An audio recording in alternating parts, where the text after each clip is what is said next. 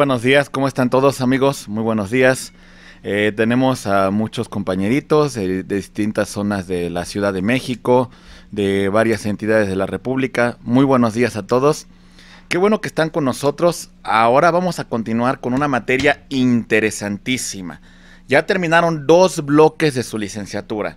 El bloque de Derecho Constitucional y el bloque de Derecho Civil. Vamos a empezar un tercer bloque derecho mercantil. Vamos a echarle muchas ganas. Eh, en este bloque van a haber dos materias, nada más, pero son sumamente importantes.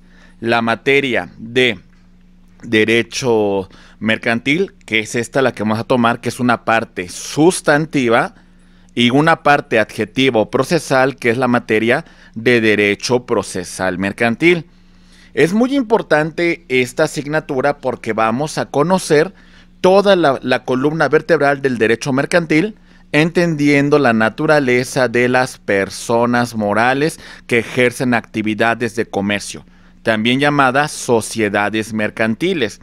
Vamos a aprender todos los elementos que conlleva a una sociedad mercantil, que contiene un acta constitutiva, cuando una persona moral se disuelve, cuando se fusiona, cuando se da la figura que se conoce en materia mercantil como la escisión de una sociedad mercantil. Vamos a ver a grosso modo los títulos y operaciones de crédito y bueno, son bastantes los temas que vamos a mencionar. Eh, a lo largo de esta sesión vamos a dividirla en cuatro unidades. Cada unidad va a tener una actividad que entre el licenciado Omar Juárez y su servidor hemos diseñado para trabajar con ustedes. La primera actividad que vamos a desarrollar se llama el sombrero mágico. Van a ver ustedes en qué consiste. Está muy padre esa actividad. La segunda va a consistir en una actividad de la garra, como cuando van ustedes ahí a las máquinas que sacan peluches y bueno, tenemos que agarrar este, a un alumno que nos va a ayudar a resolver una duda. Y tenemos otra que se llama Vamos de Pesca, en la cual vamos a, dentro de, todo un estanque, vamos a capturar un pececito que, que implica el nombre de un alumno que nos va a ayudar a resolver temáticas importantes sobre el derecho mercantil y la última materia, la última asigna, la última actividad se llama el sombrero mágico. Muy bien. No, el sombrero mágico, no, esa ya la mencioné. La caja misteriosa. Y también va a ser una actividad que va a reforzar mucho el conocimiento. Abogados, eh, por favor, hagan sus participaciones. Levanten la mano. Por favor, eh, si tenemos algún problema con el audio, manden ustedes un chat eh, ya sea aquí a la plataforma de Zoom o también inclusive el chat directamente al licenciado Omar Juárez a través del WhatsApp, quien eh, estará haciendo las preguntas conducentes, el detalle que sea una actividad de retroalimentación. Eso es lo que pretendemos y eso es lo que queremos tener en esta sesión. Me da mucho gusto ver que tenemos 33 alumnos conectados en esta sesión. Realmente todos y cada uno de ustedes son importantes para nosotros, compañeros. Eh, muchísimas gracias, Omar. Vamos a dar inicio. Les comparto mi pantalla. Ya la vamos a ver. Este, bien. Licenciado Omar, le hago una pregunta antes de que empecemos con toda esta actividad. Claro, que eh, sí. ¿Usted ya le repartió a los alumnos todo el, material que vamos a utilizar en esta sesión? El día de ayer lo compartimos, eh, el link y la presentación en PDF. Sí, sobre todo porque hay algunos complementos, licenciado, que, que normalmente tienden a reforzar el conocimiento para cada uno de ellos. Muy bien. Claro que sí. Eh, chicos, yo se los envié el día de ayer a su canal grupal. Si a alguno le hace falta, mándenme un mensajito y se lo reenvío, por favor. Muy bien, muchísimas gracias, licenciado Omar. Laura. Muy bien. También este eh, tengo un canal de YouTube por si en algún momento determinado eh, algunos de los contenidos temáticos requieren un reforzamiento, con todo gusto en el canal de YouTube ustedes pueden reforzar todos los temas que vemos normalmente en la licenciatura. Entonces, por favor, ahí consulten el canal y van a ustedes a, retroalimentar todo, todo, todo el conocimiento que obtengan a lo largo de su formación profesional. Muy bien, vamos entonces a iniciar con nuestra primera unidad y siempre iniciamos con algo motivacional, con un video que fortalece mucho el espíritu, que fortalece mucho el aspecto emocional. Vamos a iniciar con este primer video introductorio. Muchas gracias. compañeros? Muy buenos días. Mm, esperemos que se escuche bien. Eh, ¿Me escuchan bien, compañeros? Vamos a iniciar entonces con la primera parte. Muy bien, muy bien, compañeros. Bienvenidos a esta primera unidad de Derecho Mercantil. En esta unidad vamos a conocer los siguientes temas. El concepto de derecho mercantil. ¿Qué entendemos por actos de comercio? Las principales características del derecho mercantil, los elementos que constituyen el derecho mercantil, la jerarquización de las normas de derecho mercantil, el comerciante, cómo se clasifican los actos de comercio, la clasificación de las sociedades mercantiles y bueno, en particular, esos son los temas que vamos a analizar. El primer acercamiento. Ustedes acaban de terminar un bloque muy importante, el derecho civil. Cuando hablamos del derecho civil, mencionamos eh, que eh, este derecho civil es un conjunto de normas que rigen la vida de las personas sobre estas áreas. Vamos a verlo.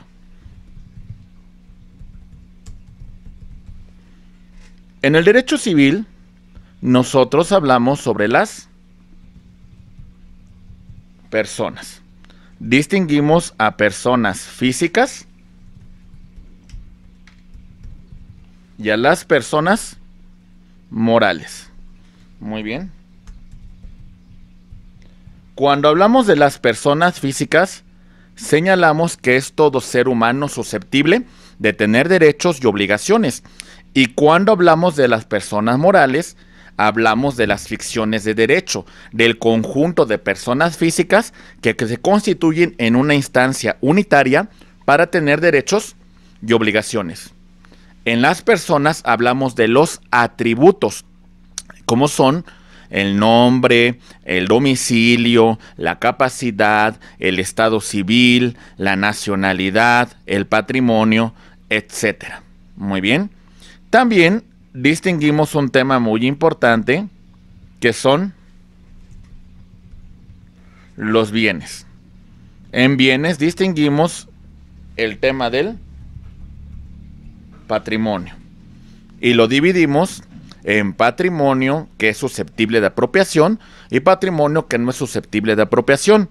Dentro del que es susceptible de apropiación distinguimos entre propiedad, posesión y modos de adquirir la propiedad.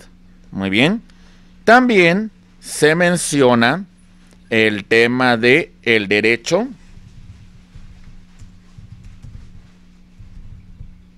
de familia. El derecho de familia tiene una importancia sustantiva porque hace mención a grandes instituciones como es el matrimonio, la adopción, la patria potestad, la tutela, la curatela, etcétera, etcétera. Se establecen los derechos y obligaciones que derivan de esta relación. Después también se mencionó el tema de el derecho sucesorio. ¿Qué pasa con nuestros bienes a nuestra muerte? cómo se van a transmitir. Muy bien. Continuando con el tema de las obligaciones como ese vínculo jurídico que une a un acreedor y a un deudor. Muy bien. Y concluimos con el tema de los contratos como el acuerdo de voluntades que crea y transfiere derechos y obligaciones y se mencionan los diferentes tipos de contrato para que posteriormente llegaran al tema procesal. Los conflictos y cómo se resuelven en esta vía. ¿Por qué menciono todo esto? Porque el derecho mercantil se encuentra muy relacionado con el derecho civil, totalmente vinculado.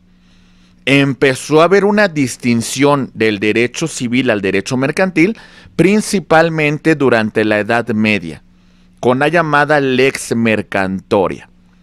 ¿Por qué fue importante esto, compañeros? Por una cuestión fundamental, la cuestión de los actos que realizaban los comerciantes venecianos. Aquí tenemos que distinguir una cuestión muy importante. En el derecho mercantil va a tener una importancia fundamental un concepto. Vamos a ponerle acto de comercio. Es la columna vertebral de esta materia. Entonces empezamos con este primer comentario, estimados amigos. Vamos a ver. Muy bien. El derecho mercantil es una rama de derecho privado. ¿Sale? Rige las relaciones que se dan entre particulares. Pero vean, relativas al ejercicio que la persona física o moral realiza como comerciante. Y entonces hacemos mención de un concepto fundamental, estimados amigos, los denominados actos de comercio. Muy bien. Ok, ya encontramos una primera distinción. El acto jurídico es un acto voluntario. Es un acto que lleva una consecuencia, la creación de derechos y obligaciones. El acto, vamos a distinguirlo por sus siguientes características.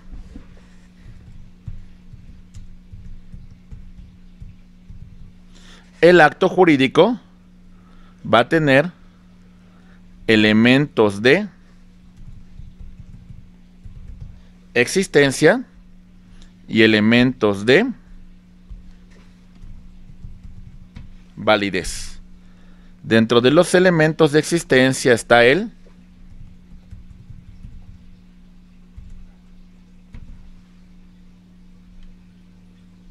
el tema del consentimiento, está también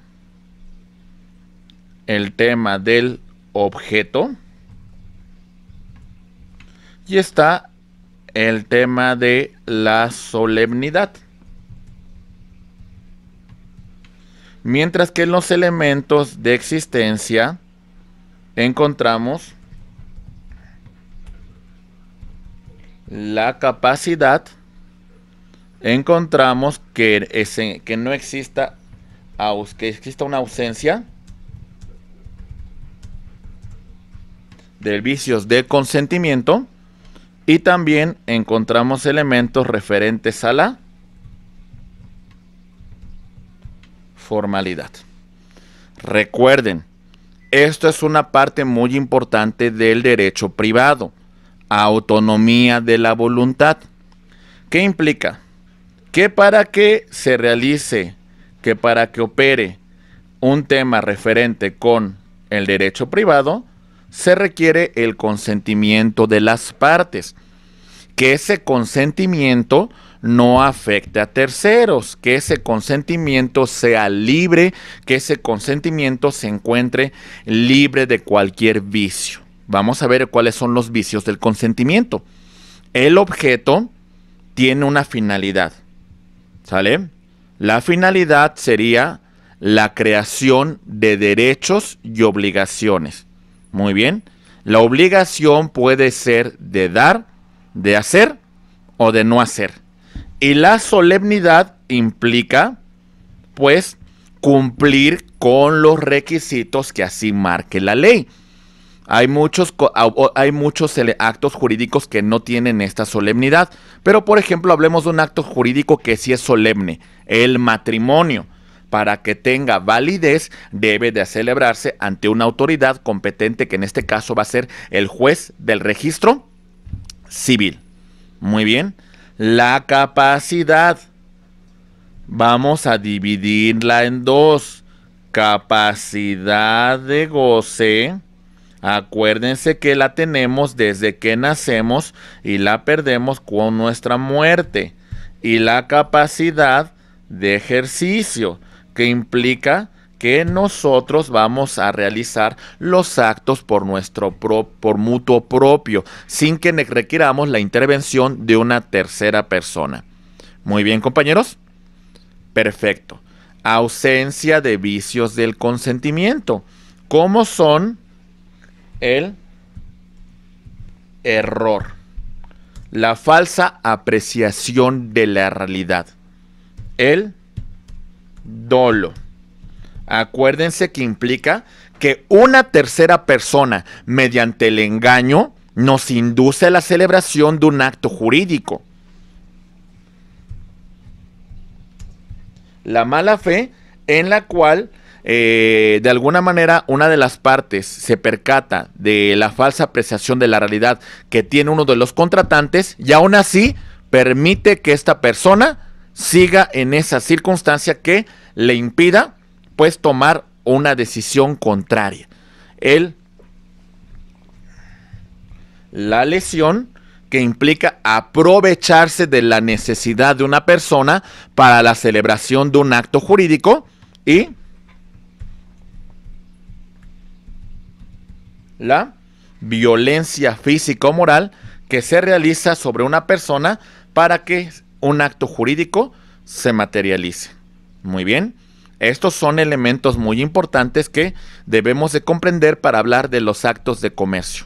Y la formalidad implica cumplir con los requisitos que marca la ley para que el acto jurídico pueda surtir sus efectos. Muy bien, estimados abogados. Ok, esto es la referencia sobre el acto jurídico. De todo esto, ya habiendo, habiendo estudiado un pequeño repaso sobre este acto, vamos a mencionar qué debemos entender sobre acto de comercio. Muy bien, perfecto. Voy a poner, ahora sí, el acto de comercio. Punto número uno. Actos con especulación comercial. Primera referencia. A ver, hay especulación comercial si voy a obtener un lucro. Perdón, perdón. Dejen cierro. Se escucha un poquito ahí de ruido. ¿Me escuchan bien, compañeros? Bien. Lucro. Muy bien. ¿Qué implica el lucro, estimados amigos? El lucro implica, pues, una ganancia lícita que se pretende obtener por la celebración de un acto jurídico. ¿Está claro eso, compañeros? Perfecto, muy bien.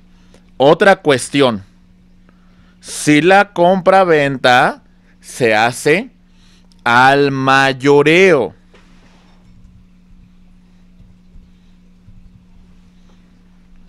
Bien, compañeros. Siempre que compremos al mayoreo, se especula que existe, eh, que, existe esta especulación comercial. Muy bien. Y cuánto también se compra en gran cantidad. Muy bien. Porque evidentemente no se hace para un consumo personal. ¿Vamos bien? No es lo mismo que Juan Pérez compre dos kilos de jitomate a que Juan Pérez compre varias cajas, varias cientos de kilos de jitomate. Porque evidentemente si Juan Pérez compra varios cientos de kilos de jitomate, no lo hace para un consumo personal, ¿verdad? Lo hace pues de alguna manera para revender. Lo hace pues para generar un lucro. ¿Se entiende, compañeros? Ok. Entonces, estas son cuestiones que debemos identificar para saber, en primer lugar, si el conflicto puede ser de naturaleza civil o si el conflicto es de naturaleza mercantil. ¿Vamos bien, abogados? Ok, siguiente punto. Actos realizados por las sociedades mercantiles legalmente constituidas para ello los actos que realiza Walmart de México, los actos que realiza Ford, los actos que realiza FEMSA, los actos que realiza Bimbo, son actos derivados de una legal constitución como actos de comercio. Muy bien. Compañeros, ¿sí me escuchan bien? Perfecto, muy bien. Muy bien. Muy bien, compañeros. Ok. Otro tema importante que debemos destacar en este punto es eh, los actos derivados de obligaciones del Estado. En caso de que el Estado incumpla con alguna de estas funciones, pues nos encontraremos bajo esta tesitura. Bien, compañeros, estos son cuestiones fundamentales que nosotros debemos de entender. Muy bien, perfecto, muy bien. Títulos y operaciones de crédito. Siempre que hagamos referencia a los títulos y operaciones de crédito como son cheque, letra de cambio,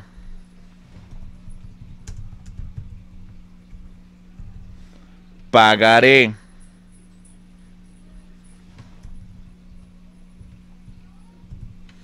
certificados de depósito,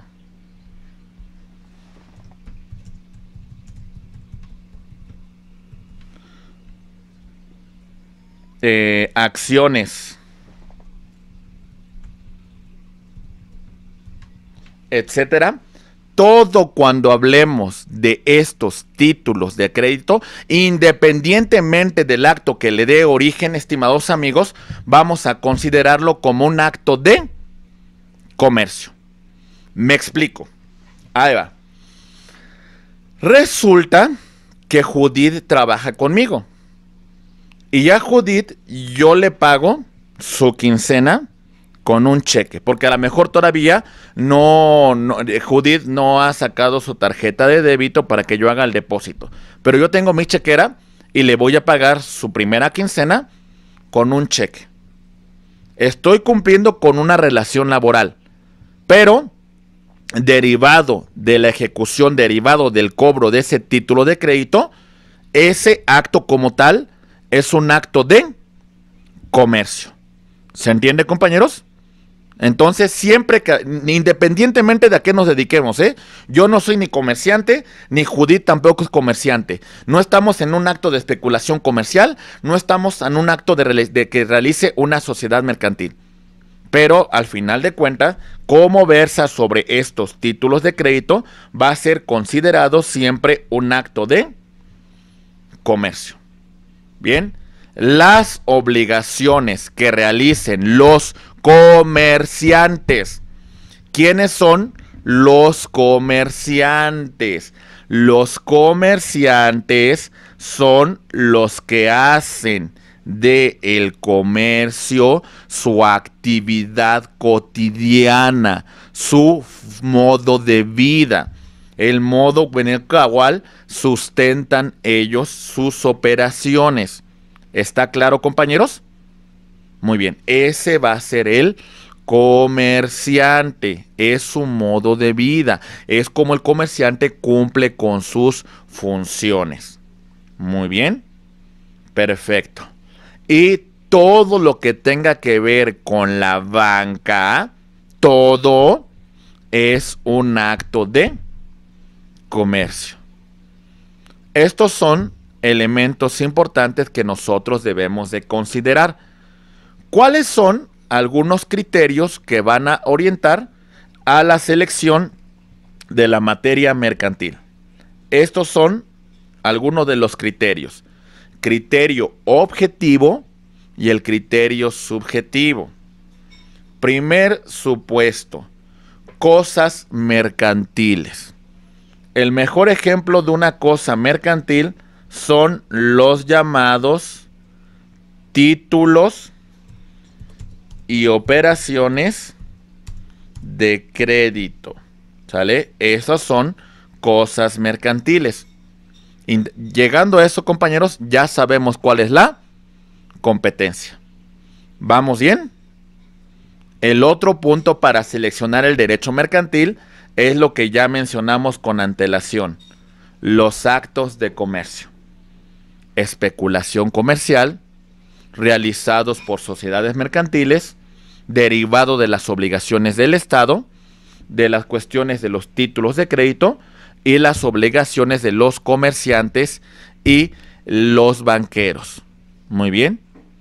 Otro, criterio para seleccionar la materia, un criterio llamado subjetivo en de relación a la calidad del sujeto.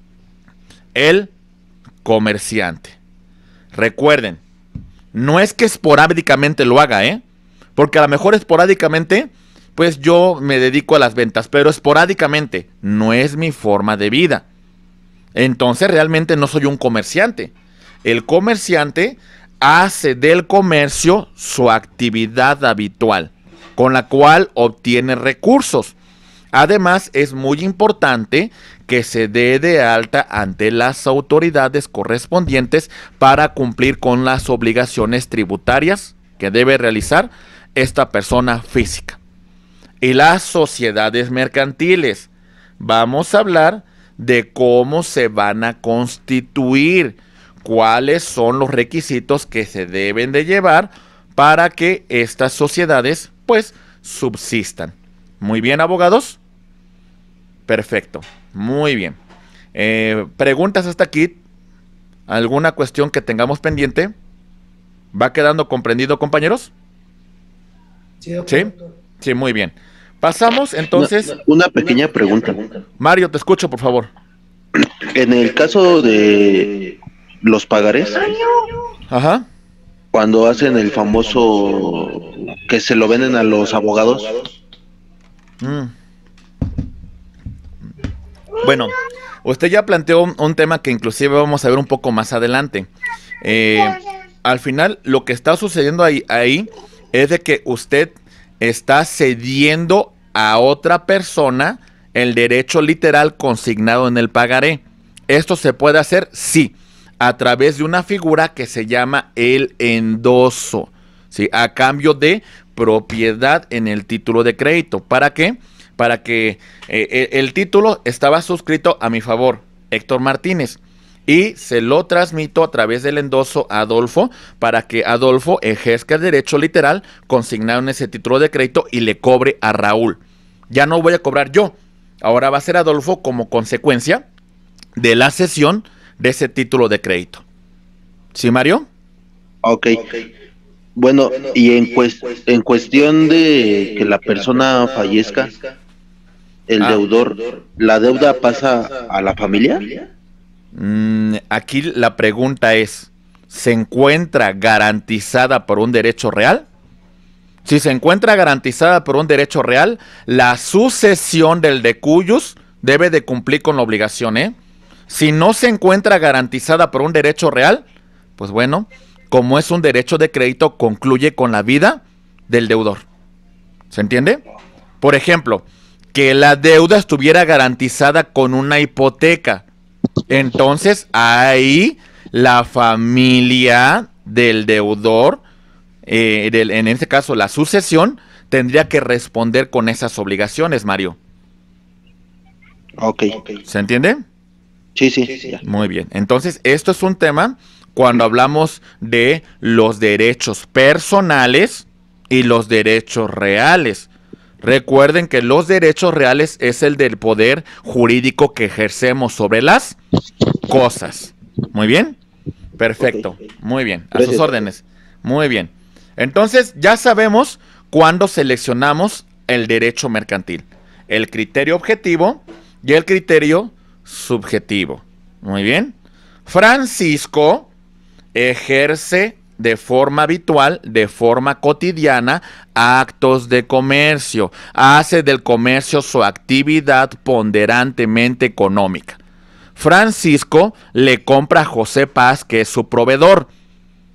José Paz no le da la mercancía que encargó Francisco.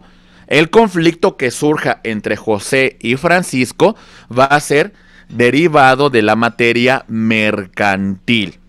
¿Se entiende, compañeros? Ahí tendríamos que ver qué tipo de juicio sería el indicado para resolver el conflicto entre Francisco y José. Muy bien. Blanca compra una televisión en Walmart de México. Walmart es una sociedad mercantil. En el caso que surja un conflicto con alguna con algún cliente, el conflicto se puede resolver ante los ante la jurisdicción de naturaleza mercantil. Que aquí debemos de destacar un tema, compañeros. No hay como tal un juez mercantil. Lo van a ver ustedes cuando lleguen a la parte procesal. Los jueces de la competencia civil son las que resuelven estos conflictos. Pero la materia mercantil debemos destacar que es concurrente. Eso sí, tómenlo en cuenta. ¿A qué me refiero con que es concurrente, compañeros? A que existe esta, esta jurisdicción, esta competencia.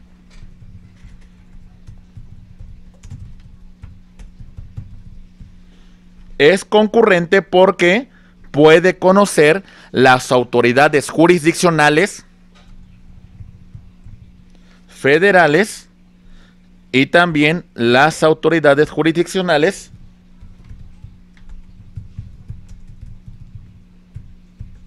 de las, de las entidades federativas.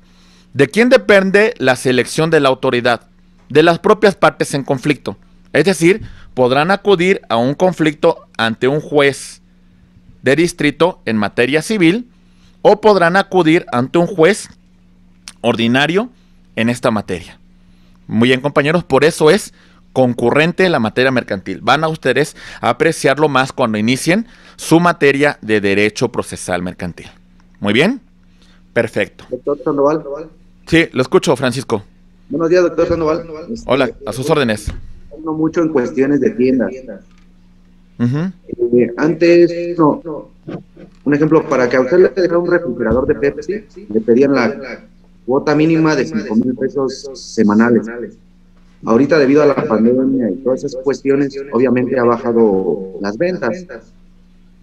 A mucha, a mucha gente le están recogiendo los, los refrigeradores porque ya no cubren la cuota. Pero en ningún momento se hizo un contrato así tal cual. No, solamente se, se hizo el contrato como de palabra. Bueno, lo que normalmente ocurre, amigo, ahí es que se, se da una concesión. En este caso en particular se da el, refrigerador como eh, bajo una figura de comodato. Se supone que debería existir un contrato para que en un momento determinado, en caso de que no se cumplan con los lineamientos que se establecieron en este contrato, pues bueno, el contrato se pueda rescindir por las partes. Normalmente yo entiendo que sí existe este, estos contratos de comodato cuando se otorga algún refrigerador. Eh, en el caso de que sea de palabra, pues bueno, es, es muy difícil para, para el propietario del refrigerador, pues bueno, ejercer alguna acción para recuperar este, este, este bien, ¿no? Normalmente sí existe un contrato de comodato y bueno, en el caso de que no exista, pues bueno, en repercusión del propio comerciante, ¿no? Francisco. Muy bien, excelente, muy, muy bien. A sus órdenes. Entonces ya vimos la selección, compañeros. Esto es un criterio importantísimo.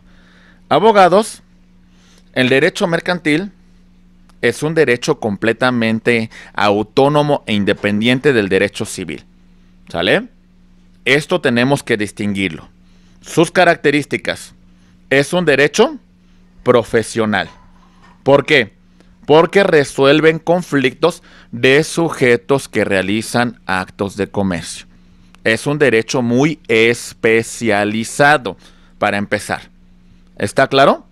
Ya vimos cuáles son los actos de comercio. Muy bien.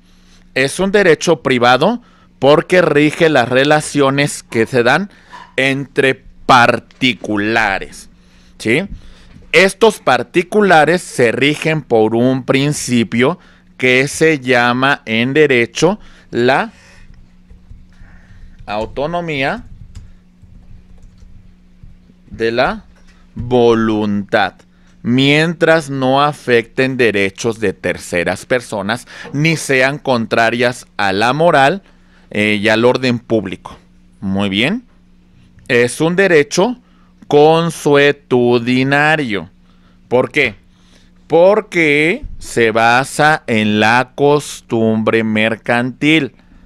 Recuerden que la costumbre tiene dos elementos muy importantes.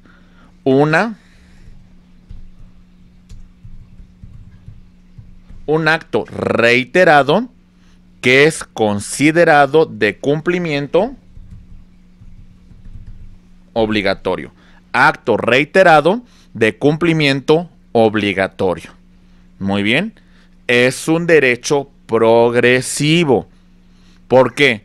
Porque evoluciona conforme a las condiciones sociales y económicas.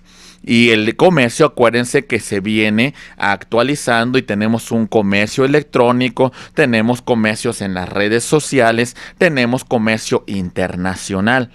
Aquí es un punto importante, compañeros. Nuestro código de comercio es la norma que inclusive muchos juristas puros han dicho que es una norma inconstitucional. ¿Por qué? Porque el código de comercio data de finales del siglo XIX. Todavía, compañeros, todavía. ¿Y eso qué implica? Que ese código estuvo, todavía tuvo como vigencia la constitución del 57. Fue promulgado por don Porfirio Díaz.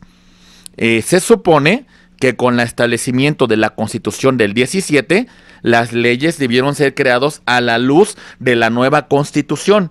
Es, una, es un código que se ha venido actualizando en los últimos años pero su origen data de tiempos de don Porfirio Díaz para que ustedes lo tomen en consideración, estimados amigos. Eh, también es un derecho autónomo. ¿A qué me refiero con esto? Tiene su propio método de estudio, tiene sus propios elementos importantes de, la, de independencia y autonomía. Abogados es un derecho global tan globales que hay una comisión de la Organización de Naciones Unidas que habla sobre el derecho mercantil internacional. ¿sí? Esto es una cuestión que ustedes tienen que tomar en consideración, estimados abogados, cuando hablen del derecho mercantil. Muy bien. Eh, entonces, estos son elementos importantes que debemos de considerar sobre el derecho mercantil. Muy bien. Perfecto. Muy bien, estimados abogados. Continuando con este desarrollo temático, tenemos entonces que los elementos son los siguientes. Ya lo mencionamos. Actos de comercio. Muy bien. Recordemos. Vamos a ver. Judith, acuérdeme, póngame un ejemplo de un acto de comercio, Judith. Abogada, ayúdeme, por favor. El que le venga a la mente, un acto de comercio. Por ejemplo, la compra y venta de... Eh, si yo vendiera fruta por mayoreo, yo soy la el comerciante y usted es el que me va a comprar para proveer a su negocio. Ok, la, la compraventa al mayoreo, ¿verdad? Excelente, muy bien. Excelente, Judith, muy bien. Paulina, acuérdeme un acto de comercio, por favor. Podría ser los realizados por sociedades mercantiles como empresas grandes como Bimbo, Marinela, etcétera. Excelente. O un acto de comercio. Muy bien. Eh, Agustín, un acto de comercio que le venga a la mente, por favor. Pagar sus salarios por medio de un cheque. Ok, eh, la celebración o el cumplimiento de una obligación derivado de un título de crédito, ¿verdad? Perfecto, está muy claro para ustedes que es un acto de comercio. Los sujetos de la relación eh, del derecho mercantil. Vamos a ver. Muy bien. El comerciante. Abogado Adolfo, ¿qué señalamos entonces que es el comerciante? Una persona que hace comercio su vida. Ok, su, actividad cotidiana, ¿verdad? Y de ello mantiene, tiene su subsistencia, ¿verdad? Excelente, Adolfo, muy bien, eh, muy bien. Y las sociedades mercantiles, recordemos que se constituyen de conformidad como marca la norma. Otro tema. ¿Qué hacemos cuando surja un conflicto, abogados? Vamos a ver que existen procedimientos en esta materia como los siguientes. Ordinario, ejecutivo, oral y el concurso mercantil. Muy bien. Disculpen la palabra que voy a decir, pero así lo marca la propia ley. El ordinario no tiene una tramitación especial. Es decir, que para resolver el conflicto en un ordinario tenemos que seguir toda esta secuela procesal y entonces partimos nosotros desde la demanda, ¿sale? El emplazamiento correspondiente, la contestación de la demanda, ¿sí? El ofrecimiento y admisión de pruebas,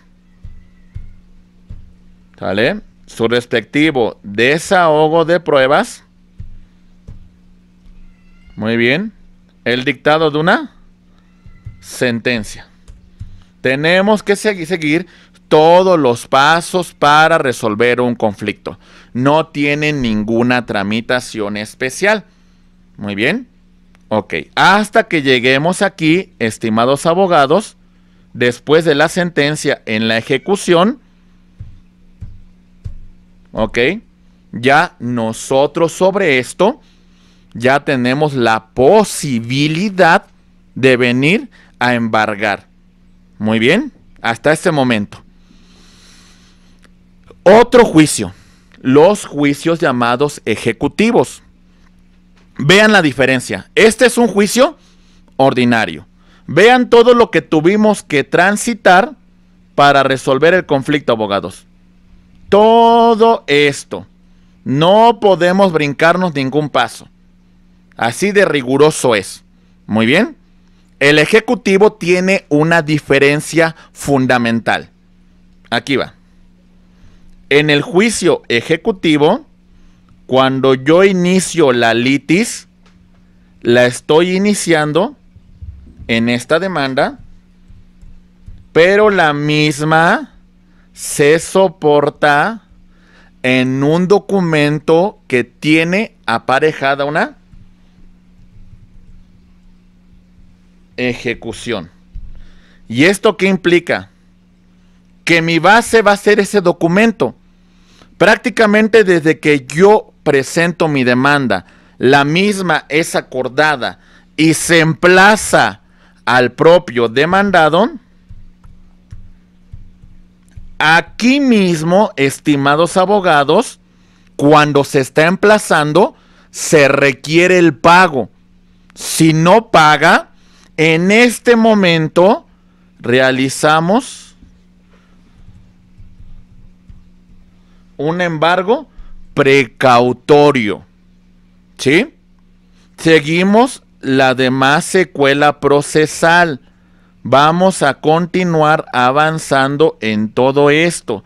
Pero ¿qué ventaja tengo que esto ocurra acá? Que cuando venga una sentencia, yo ya tengo bienes asegurados en este embargo. Yo ya tengo bienes que con antelación le fueron embargados a la parte demandada. Y entonces ya en ejecución requiero pago y si no me paga, ahora sí, ya venimos al remate. ¿Se dan cuenta, compañeros? Esto es una diferencia importante. Esto marca un punto fundamental. Es como cuando lo hacen en el Electra o en Coppel o en todas esas. normalmente, Alma, eh, tiene usted una razón importante. Eh, cuando estas tiendas otorgan un crédito, normalmente se garantiza con documentos que tienen aparejada ejecución. A veces firmamos pagarés, a veces firmamos contratos, eh, y estos, estos documentos que tienen aparejada ejecución implica, Alma, que desde que yo inicie una controversia, esa va a ser la base de mi solicitud. Y lo primero que va a hacer el juez cuando llegue usted a emplazarla es, señorita Alma, debe usted a Electra 100 mil pesos. ¿Los tiene para pagar? No, que no tengo. Señorita Alma, señale bienes que garanticen 100 mil pesos. ¿No los quiere señalar usted? Los va a señalar la parte actora. ¿Sí? Desde que te estoy emplazando. O sea, esa es una gran diferencia, ¿eh? Vean eh, la diferencia con el ordinario. En el ordinario, yo vengo a, em, embargar después de que tengo una sentencia. En el Ejecutivo, desde aquí, desde que yo emplazo, ya estoy embargando. ¿Está claro, abogados? Sí, gracias. Muy bien, a sus órdenes. Muy bien. Bien. Eh, entonces es otra forma de resolver un conflicto mercantil.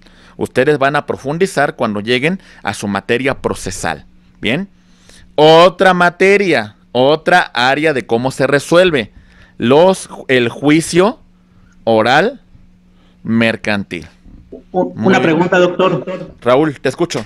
Eh, entonces, eh, en ese tipo de controversias de poder este, garantizar, bueno, es más recomendable los juicios de, ejecutivos que el juicio ordinario, porque pues, el ejecutivo es el que te garantiza más eh, el poder tener mm, cómo pagar o cómo recibir algún pago.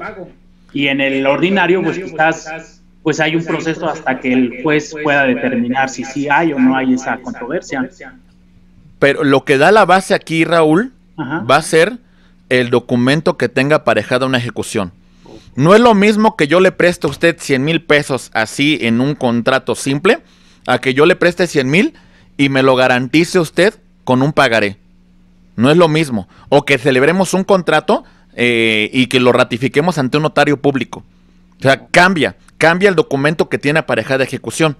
O sea, lo que le va a dar pauta a que usted inicie un ejecutivo es el documento que tiene aparejada ejecución. Si no lo tiene, entonces o inicia un juicio ordinario o inicia usted un juicio oral.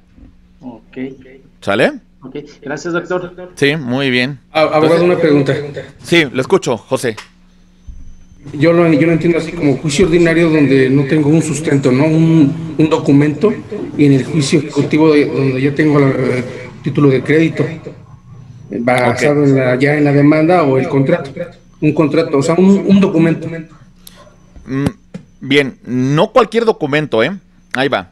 En el ordinario yo puedo tener incluso un documento. Yo tengo un documento. Con Adolfo celebré un contrato que digo que le presté 100 mil pesos a Adolfo. Ya lo tengo. Ese documento no es suficiente para que yo inicie un ejecutivo, ¿eh? Pero si con Adolfo lo celebré, fuimos ante un notario público y lo elevamos a escritura pública, la cuestión cambia.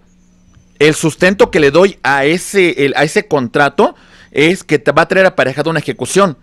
Si yo le presto a usted 100 mil pesos, José, y usted me firma pagarés, esa va a ser la fuerza de mi documento. Caso contrario a que yo firme con, un, con usted nada más un contrato de, de apertura de crédito. Por eso normalmente, para garantizarlo, para hacerlo efectivo, se firman títulos de crédito, José.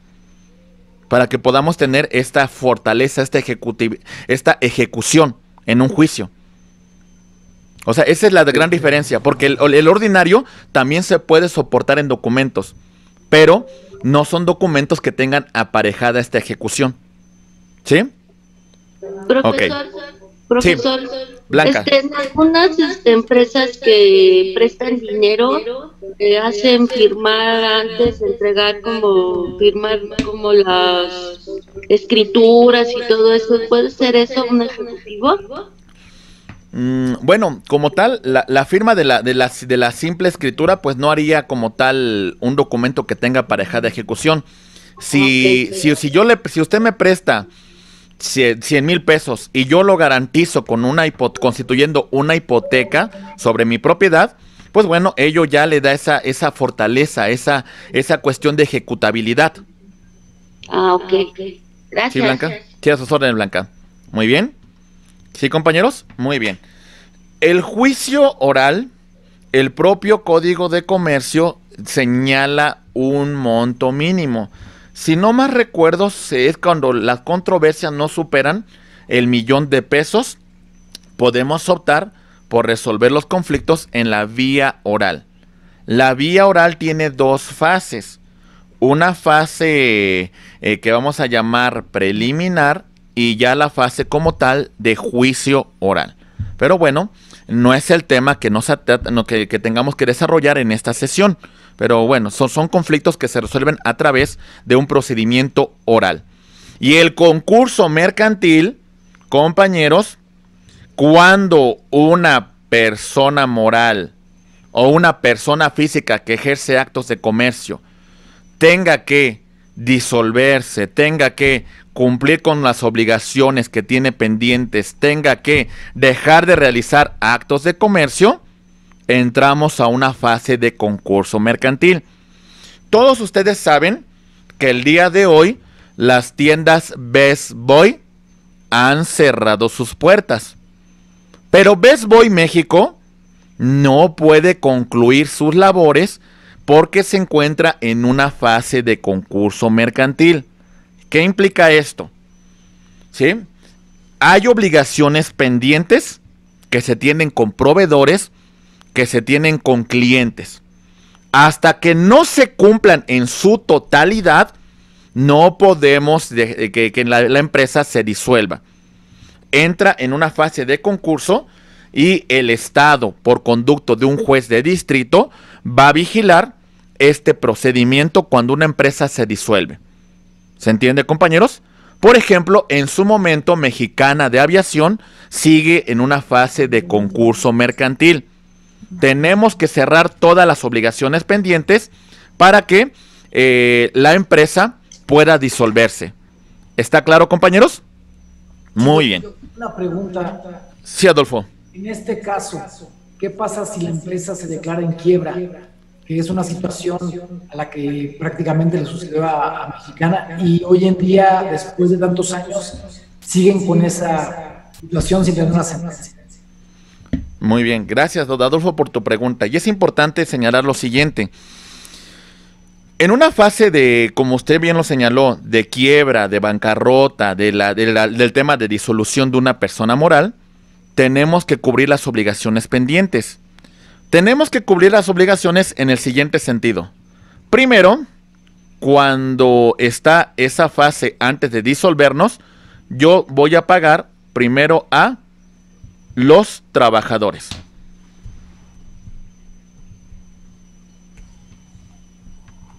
Son los primeros que debo de cubrir en esta, en esta liquidación. Después, ¿a quién más pago? También voy a pagar en segundo lugar a las autoridades hacendarias.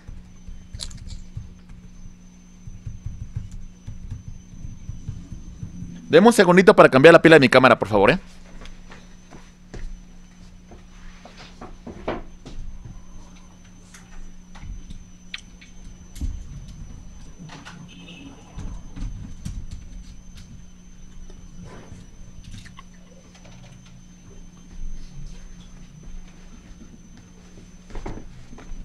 Muy bien, compañeros. Autoridades hacendarias, ¿sí? Tanto a nivel federal como también local e incluso municipal. Debo después pagar a mis acreedores. Pero hay varias clases de acreedores. Primero, a los acreedores que tengan una garantía real. Es decir, acreedores hipotecarios y acreedores prendarios, así como los que soporten su deuda con títulos de crédito. Después, ¿a qué otros acreedores? A los acreedores que no tengan esta garantía, los llamados acreedores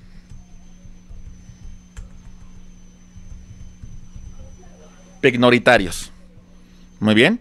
Mucha gente aquí se va a formar, muchos acreedores se van a formar. El Estado tiene que cuidar que se paguen a todos. De lo que quedó de, de, los, de los activos que tenga todavía la empresa, vamos a liquidar a todos ellos. A todos. Ya habiendo liquidado a todos, ahora sí, ya venimos con los socios. Al final, si algo queda el Estado tiene que cuidar esto, Adolfo, porque puede ocurrir una cuestión importante. Que la empresa se retire todos sus recursos, todos sus bienes, diga, pues me voy y lo que dejé pendiente ni modo. No, o sea, es como el concurso mercantil, Adolfo, sería más o menos como lo que hace una sucesión para una persona física. La persona física muere, pero hay obligaciones que no se que no concluyen con la vida de una persona que continúan y sus herederos deben de cumplirlas. Es algo muy similar que ocurre con el concurso mercantil. Posiblemente tengamos ahí muchos acreedores que están ahí pendientes del concurso mercantil de Mexicana para que podamos disolverla, Adolfo. Si no, pues no podemos disolverla. Hay que, hay que cubrir con todos estos aspectos. Imagínense cuántos acreedores debe tener Mexicana de Aviación. Sí, muchísimos. E inclusive todavía creo que hay conflictos de naturaleza laboral. O sea, por eso eh, eh, ya lleva más de 10 años que Mexicana entró a concurso y como usted bien lo indica, no se ha concluido. Siguen en esa fase de concurso mercantil. Y bueno, posiblemente así dure un poquito más de años hasta en tanto se resuelva todo esto, Adolfo. Se supone que tiene que ver con un tema de, de dar certeza pues a las disoluciones de las empresas en nuestro país. Ese es el punto principal. Muy bien. Bien, abogado. Muy bien. ¿Vamos bien, compañeros? Perfecto. Muy bien. Muy en bien. este, perdón, maestro, en este tipo de juicios serían como de dos sociedades mercantiles que entran en controversia. Eh, sociedades, personas físicas que realizan actos de comercio, una persona que realiza actos de comercio y otra que no. Eh, esos son varios los, las hipótesis que se pueden presentar, ¿no? Lo importante es que usted con antelación me distinga esto, que usted tenga muy claro que es un acto de comercio y los sujetos que intervienen en esta relación. Usted ubicándome esto, ya me puede distinguir si es un acto de naturaleza civil o es un acto de comercio. A ver, le pongo un, le pongo un ejemplo para que me, entienda este punto. A ver, yo soy, vendo mi celular por ocasión. Realmente, pues necesito un dinero porque no tengo recursos. Y le digo a Agustín, oye Agustín, te vendo mi celular a mil pesos. Vale como dos mil, pero necesito mil pesos que me prestes. Y lo vendo. Yo no, no realizo como una actividad de vida, como una forma de vida, eh, el, ser comerciante. Mi acto no tiene especulación comercial. En caso de que exista un conflicto entre Agustín y tu servidor, ¿cuál sería la materia que resolvería? ¿Sería un acto civil o un acto mercantil, abogada? Civil.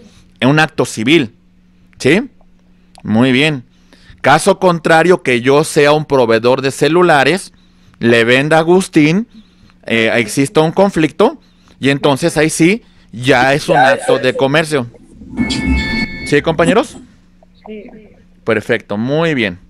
Muy bien, compañeros. Muchísimas gracias. Espero que estos puntos les hayan quedado claro, ¿eh? Muy bien, perfecto, muy bien. Muy bien, compañeros. Rápidamente vemos cómo se constituyen las normas en materia mercantil. Muchos dicen, ¿En materia mercantil puede entrar temas de derechos humanos? La respuesta es que sí, totalmente también. Los derechos humanos abarcan casi todas las áreas. Pero bueno, hablando en esa jerarquización de normas, remitiéndonos al artículo 133 de nuestra Constitución y estableciendo la jerarquía constitucional, vamos a hablar que en primer lugar tenemos a la Constitución Política de los Estados Unidos Mexicanos que tiene muchísimos artículos importantes en relación al comercio, en relación a los monopolios, en relación a la actividad económica del, del Estado. La constitución es la base. Muy bien. Tenemos los tratados internacionales que son acuerdos celebrados entre los estados eh, eh, soberanos, entre la comunidad internacional, que versa principalmente sobre actividades comerciales. Muy bien.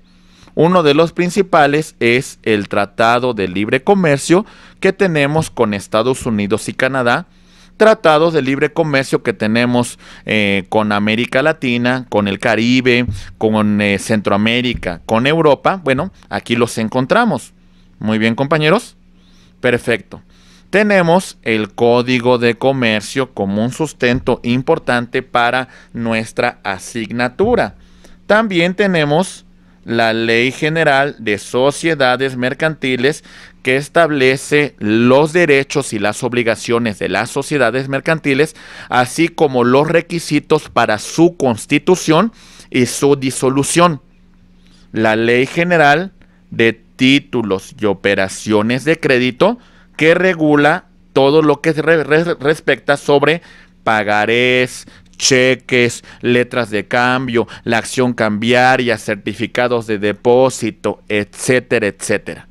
La legislación mercantil, en general, los usos bancarios y mercantiles y, anoten esto, de forma supletoria, lo que no contemplen estas legislaciones de forma supletoria, tenemos al Código Civil Federal. Muy bien. Es supletorio. Recuerden ustedes, estimados abogados, si hablamos de un tema de derechos humanos, rompemos esta jerarquía y vamos a establecer los principios que rigen a los derechos humanos. En materia de derechos humanos, entonces, nosotros rompemos toda esa pirámide y vamos a hablar de una de un tema que se llama bloque de constitucionalidad.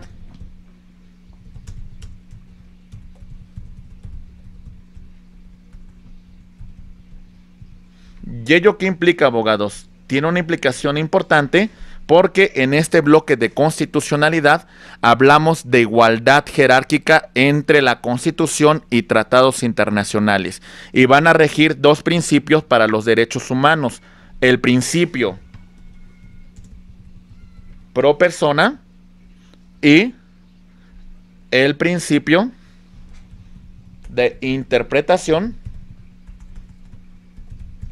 conforme. Muy bien. Estos son los principios que rigen en el tema que hablemos sobre derechos humanos. Muy bien, compañeros. Ok, muy bien. Ya estamos entrando de lleno a los comerciantes.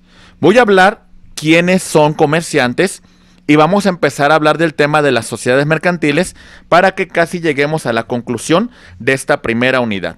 Rápidamente vamos a revisarlo, compañeros. Empezamos entonces, ya habiendo estudiado la jerarquía de normas en esta materia, señalamos este punto. Son comerciantes. Me ayudó inclusive en una pregunta que le realicé a uno de ustedes, creo que fue Adolfo, el tema de las personas que tienen capacidad legal y que ejercen y que hacen del comercio su ocupación ordinaria. Muy bien. Entonces, para que ejercer el comercio requerimos capacidad legal, es decir, capacidad de ejercicio. Una persona menor de edad o una persona que tenga una que, que, se encuentre en un estado de interdicción no puede ejercer la función de comerciante. ¿Se entiende, compañeros? Muy bien, tenemos capacidad de ejercicio. ¿Qué más son comerciantes? Las sociedades legalmente constituidas. ¿Ok? ¿Quién más? las que se encuentran constituidas en el extranjero que tengan sucursales en territorio nacional y ejerzcan actos de comercio. También van a ser señalados como comerciantes. Muy bien, compañeros. Perfecto. ¿Quiénes no pueden realizar actos de comercio? Muy bien. No pueden realizar actos de comercio los siguientes. Aquí va. Los corredores y los notarios públicos en asuntos donde intervengan. ¿Por qué? Porque tendrían un conflicto de interés. Imagine usted, Alan, Alan Mauricio. Imagine que usted está protocolizando un instrumento público con Víctor Hugo ante un notario público y que este notario público quiera intervenir en ese negocio jurídico que usted celebra con Víctor. pues evidentemente tiene un conflicto de interés. Evidentemente no pudiese participar porque ya rebasaría su el tema de la fe que tiene que dar, la objetividad que tiene que tener un corredor, un notario en la celebración de un acto jurídico. Por eso en esos negocios en los cuales se intervengan bajo la calidad de corredor y de notario, no pueden ejercer actos de comercio. ¿Se entiende? También, por supuesto, la gente aduanal porque tendría beneficios, porque de alguna manera tiene que ser objetivo en su función, porque tiene que encontrarse ajeno de esta actividad comercial en esa función. ¿Se entiende, compañeros? Como agente aduanal. También los funcionarios judiciales no tienen que tener una actividad comercial en aquellos asuntos donde intervengan. ¿Dónde queda su objetividad? ¿Dónde queda esta cuestión de que no tiene que tener un interés en el negocio? Le pongo un caso. Imagine usted, eh, abogado Everardo. Le pongo un caso, a ver, rápidamente, usted ayúdeme. Imagine usted que está llevando un conflicto sobre un bien inmueble eh, en, el, en el Estado de México. ¿Sí? Y que el juez que esté conociendo la controversia en el remate judicial tenga un interés en adquirirlo. Realmente cuando resolvió ese juez, lo pudo haber, lo, lo hizo objetivamente o lo hizo teniendo como interés la adquisición del inmueble. ¿Qué piensa usted de Berardo? No, por eso negocía, ¿no? Por el interés del inmueble desde un principio, para su ganancia. O sea, no debe, no debe haber intervenido ese juez, ¿verdad? Ni ese secretario de acuerdos, ni ese actuario, ni ese funcionario judicial. No, porque ya están en un arreglo, ¿no? ganar. Porque hay, sí. Eh, un conflicto de intereses, ¿sería? Bueno, sí, como lo mencionó también Everardo, hay un conflicto de intereses. Hay una cuestión, pues, que no es ni siquiera ética, ¿no? ¿Dónde queda la ética? ¿Dónde queda la responsabilidad como autoridades? Sí, en esos negocios pues voy a intervenir. ¿Se entiende, compañeros? Ok. Otro tema. ¿Puede recibir una sanción el juez? Por supuesto, una sanción por parte del Consejo de la Judicatura. Y en este caso, pues puede ser suspendido de su encargo o inclusive hasta separado por, eh, por intervenir en ese tipo de negocios. ¿Se entiende, compañeros? Ok. Otros los que por una sentencia judicial en un concurso mercantil hayan sido declarados quebrados, no rehabilitados. A ver, ¿a qué me refiero con esto? Eh, resulta que Mexicana de Aviación, por poner un ejemplo, es un caso hipotético, ya se declara en quiebra. Muy bien. Mexicana no puede realizar actos de comercio en esta fase porque estamos disolviendo la sociedad. Si permitiéramos que Mexicana realizara actos de comercio, estamos eh, permitiendo que una persona que no tiene capacidad de cumplir con sus obligaciones realice actos con tercero y le causemos perjuicios a terceros con una empresa que ya está en esa bancarrota. ¿Se entiende, compañeros? ¿Qué pasaría si permitiéramos que Best Boy, que entró en concurso mercantil, continuara realizando actos de comercio? ¿Qué ocurriría, Paulina? Sería lo de... ¿Cómo se le llamaba? El concurso mercantil. ¿Y, ¿Y, qué pasaría, por ejemplo, si yo permito que Best Boy, que ya está en esta fase, pues continúe celebrando actos de comercio? ¿Qué ocurriría con terceras personas? Pues obviamente les quedaría mal porque no tiene este cómo celebrarlo. Si ya se, pues dijo que está en bancarrota o algo así, no tiene con qué celebrar más contratos, aparte de los que ya tiene. Eh, y sería una irresponsabilidad, ¿no? Que el Estado permitiera que esta persona moral que ya está en esta fase, pues continuara celebrando actos jurídicos. A ver, permíteme, ya no puedes continuar, ya no tienes cómo cumplir con tus obligaciones, por eso estás entrando en esta fase. Por eso te vamos a disolver y vamos a cumplir con las obligaciones que tienes pendiente, ¿verdad? Muy bien. Los sentenciados por ciertos delitos, principalmente patrimoniales. ¿Se entiende, compañeros? Pues ni modo que permitamos que una persona que ha sido eh, juzgada, que ha tenido una sentencia condenatoria por un delito de fraude, realice actos de comercio. Le permitamos que, que ejerza la función de comerciante. Pues le estaríamos dando licencia para robar prácticamente, compañeros. ¿Se entiende? Y los extranjeros que no tengan el permiso por parte de las autoridades migratorias para realizar actividades de naturaleza económica, de naturaleza comercial. Muy bien, compañeros. Estos no pueden realizar actos de comercio. Bien. Ok, compañeros. Vamos a analizar las sociedades mercantiles. Y bueno, la clasificación que vamos a estudiar en esta y en parte de la otra unidad van a ser los siguientes. Primera clasificación, atendiendo a la ley que las regula. Vamos a abocarnos a dos puntos.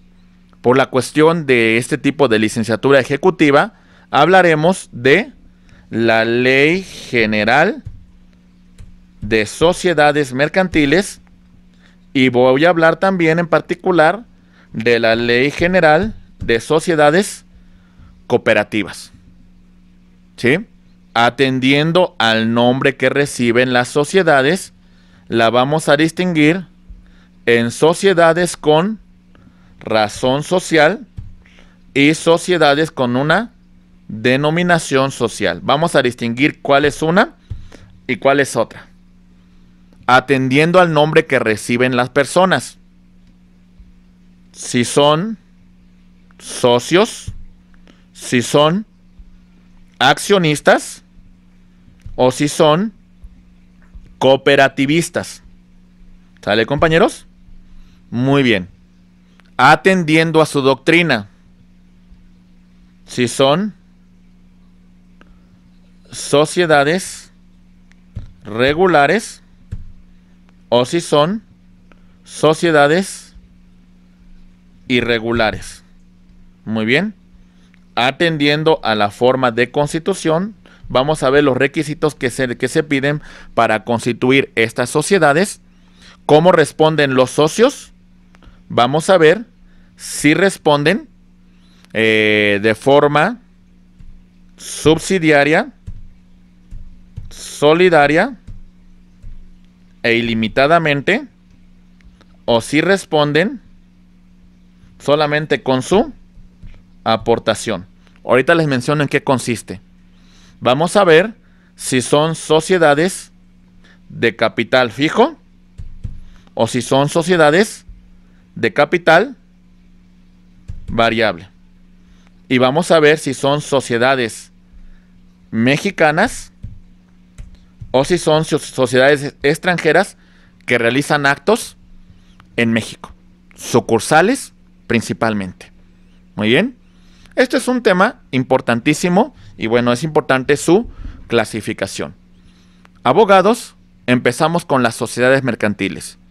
Y para entender esta temática, lo primero que, quiero que ustedes me, analicemos es el siguiente punto.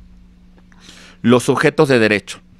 Discúlpenme que reitere todo esto, pero es importante distinguirlo. Bien, sujetos de derecho. Las personas físicas o también en este caso conocemos como las personas naturales y tenemos a las personas morales también conocido con el nombre de personas jurídicas. Muy bien. ¿Cuáles son las personas físicas o naturales?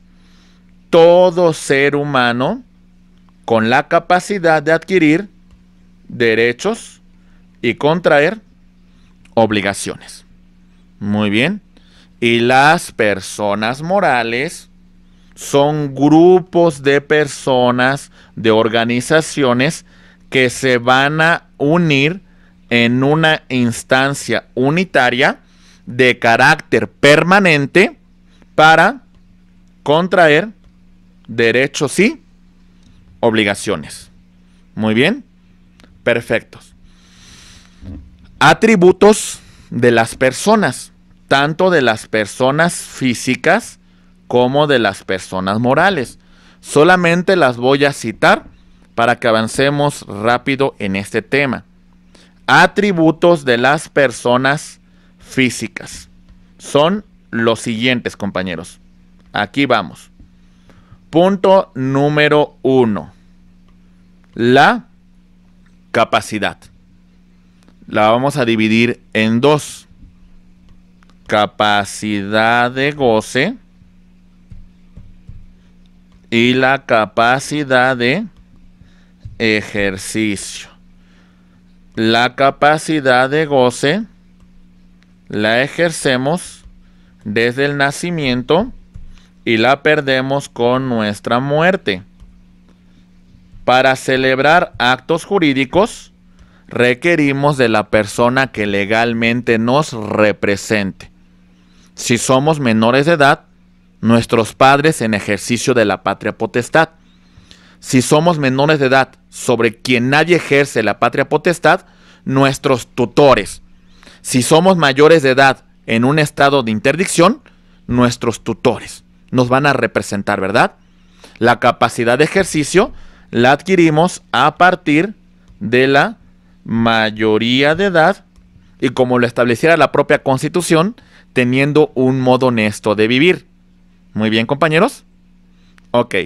El nombre nos va a individualizar dentro de la sociedad y va a señalar a la familia a la cual pertenecemos.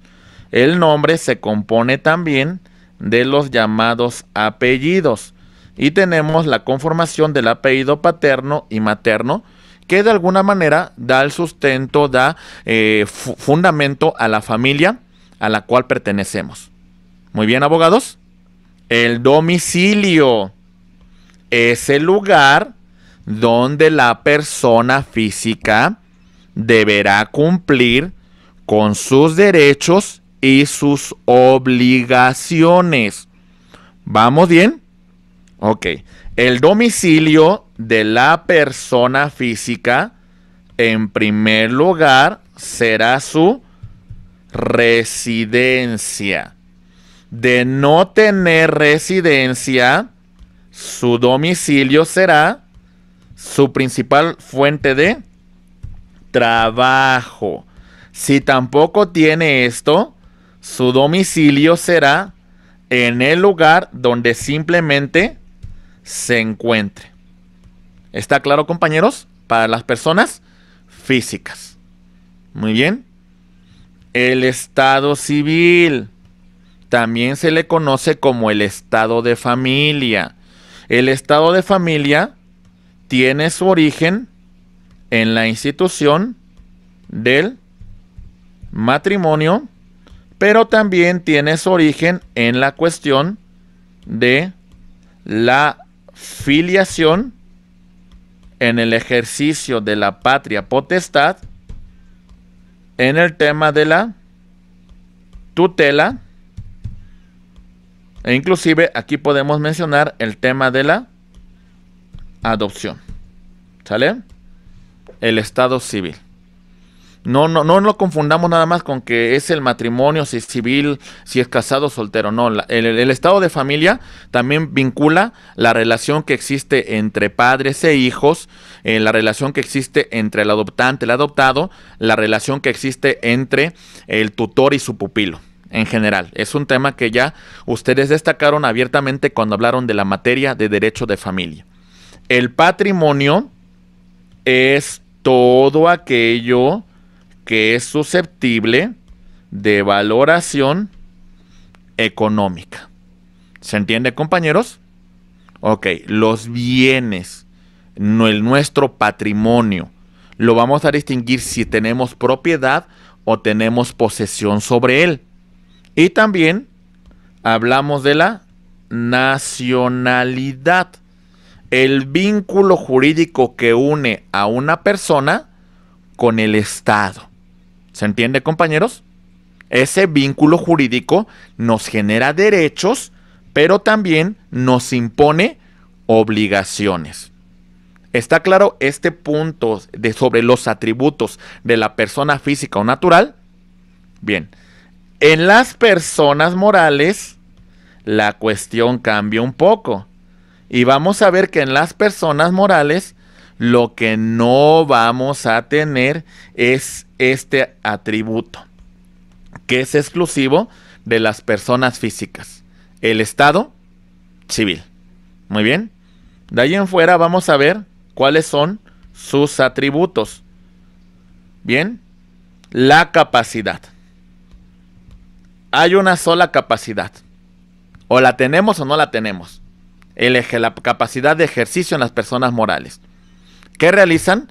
Las personas que se encuentren facultadas de conformidad con su acta constitutiva para realizar actos a nombre de la sociedad. ¿Está claro, abogados? Muy bien.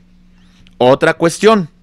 Lo que para las personas físicas sería el nombre, para las personas morales es la razón o la denominación social.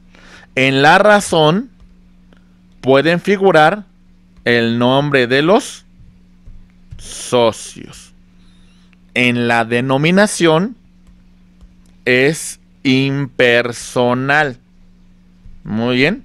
Por ejemplo, FEMSA de México es una denominación social. ¿Sale? Eh, Martínez, Valdés, García y Ríos y asociados. Sería una razón social. ¿Se entiende, compañeros? Ok. El domicilio es el lugar donde la persona moral cumplirá con sus derechos y obligaciones. El domicilio de la persona moral será el que fije dentro del acta constitutiva. ¿Ok? O también podrá ser el de alguna de sus sucursales. ¿Ok? El patrimonio de la persona moral es todo aquello susceptible de valoración económica y que se encuentra conformado por activos y por pasivos. Los pasivos son las obligaciones que la persona moral tiene frente a terceros. Cuando son más los pasivos que los activos, entonces necesariamente tendremos que entrar a una fase de concurso mercantil para disolver a la persona moral porque no puede hacer frente a sus obligaciones. Muy bien, abogados.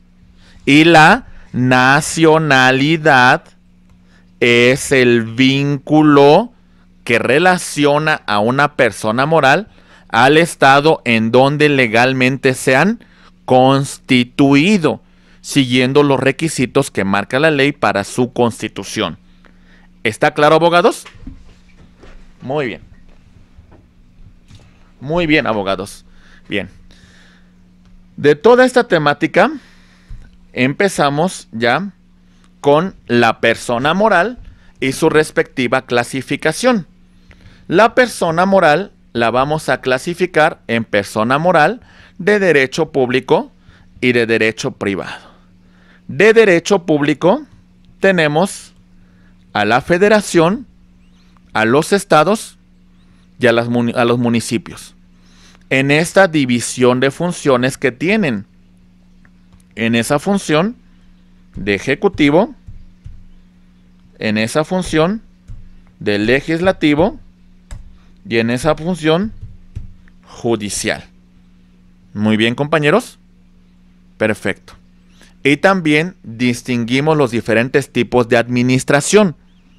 Administración pública centralizada, descentralizada y desconcentrada. Muy bien son personas morales de derecho público.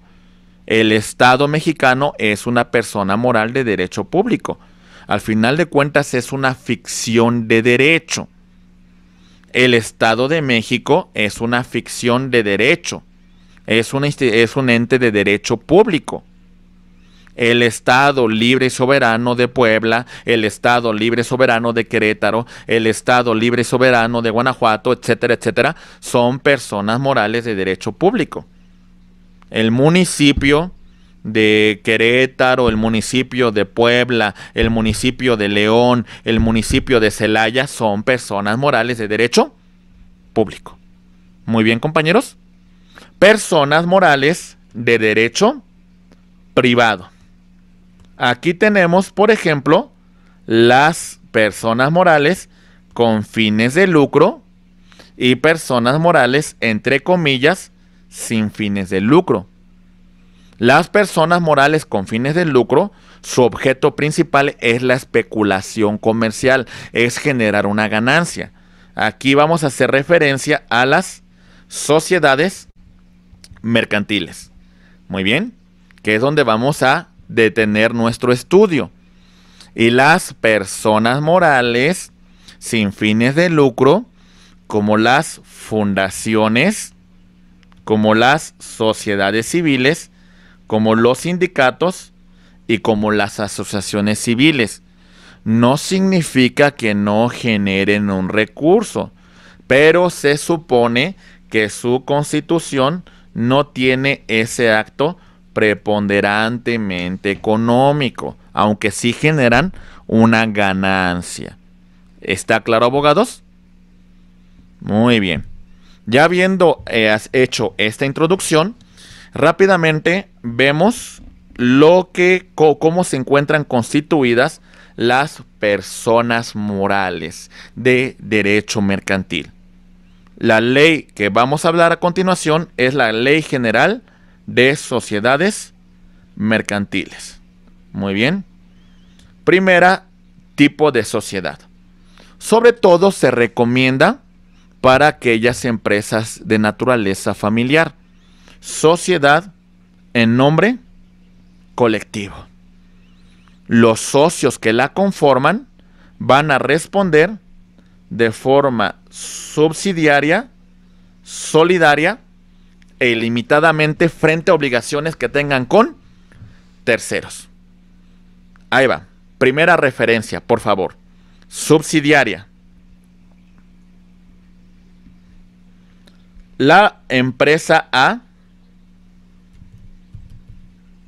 Bien, la empresa A debe 100 mil pesos. Muy bien.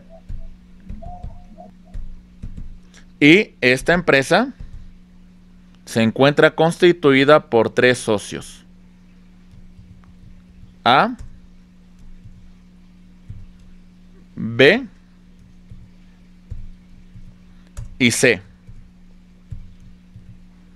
Muy bien. Cada socio contribuyó en partes iguales para conformar este capital final de 100 mil pesos. Muy bien, compañeros. Ok.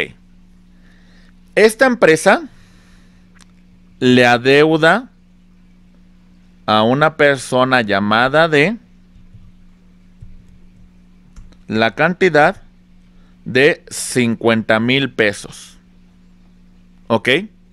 Cuando hablamos que es subsidiaria, es que este acreedor podrá exigir la totalidad del pago a C, a B o A. Y ellos podrían cumplir con la totalidad del adeudo. Y en todo caso, a este tipo de responsabilidad le vamos a llamar subsidiaria. ¿Se entiende, compañeros? A cualquiera de estos socios le podemos pedir el pago total del adeudo que tiene la persona moral. ¿Vamos bien, compañeros? Ok. Responsabilidad solidaria. Reiteramos este, este ejemplo. Aquí va. A. B. Y C. Deben. Se constituye una persona moral llamada Patito. Esta empresa que constituyeron tiene un activo de 500 mil pesos. ¿Sí? Se constituyeron con 500 mil pesos. Esta empresa tiene un adeudo frente a terceros por la cantidad de 150 mil pesos. Moneda nacional. Muy bien. ¿Por qué solidaria? Estos tres aportaron exactamente la misma cantidad para la constitución de esta persona moral. La misma cantidad. Es solidaria porque entre los tres socios van a hacer frente a la obligación que tienen pendiente. Y entonces, como se constituyeron por partes iguales, sobre esos 150 mil pesos, A cubrirá la cantidad de 50 mil, B cubrirá la otra cantidad de 50 mil y C cubrirá los otros 50 mil pesos. Son solidarios frente a las obligaciones que tengan con terceros. ¿Se entiende, compañeros? Ya vamos dos. Subsidiaria solidaria. Vámonos con el tercer punto. De forma ilimitada. A ver, compañeros. Otra vez. Discúlpeme el ejemplo otra vez. A, B y C. A, B y C. Cada uno tiene un patrimonio como personas físicas o naturales. Cada uno tiene su respectivo patrimonio. Y parte de ese patrimonio ellos lo utilizaron para constituir esta persona moral. ¿Qué significa esto? Frente a obligaciones que tengan con terceros, si no alcanza el capital de la empresa, vámonos con su patrimonio que tienen ellos como personas físicas, como personas naturales. Responden de forma ilimitada, no solamente con lo que constituyeron la empresa, sino también me van a responder con el patrimonio que tienen como personas físicas. ¿Está claro, compañeros? Ok. Entonces, aquí lo tenemos. Responden de forma subsidiaria, solidaria e ilimitadamente frente a obligaciones que generen con terceras personas. ¿Vamos bien? Ok. Doctor. Sí, Francisco. Y aún aun cuando las propiedades de la empresa, un ejemplo, no estén al, nombre de la persona, sino al de, al de su cónyuge, Ah, bueno, ahí es otra cuestión. En ese caso yo te puedo decir que si, si usted se encuentra casado bajo el régimen de sociedad conyugal, entonces entendemos que hay un patrimonio en común. Y si, yo y si yo tengo una obligación, si usted tiene una obligación pendiente conmigo, pero el nombre, las propiedades se encuentran a nombre de su esposa, yo en causabiencia también demando a su esposa. ¿Se entiende?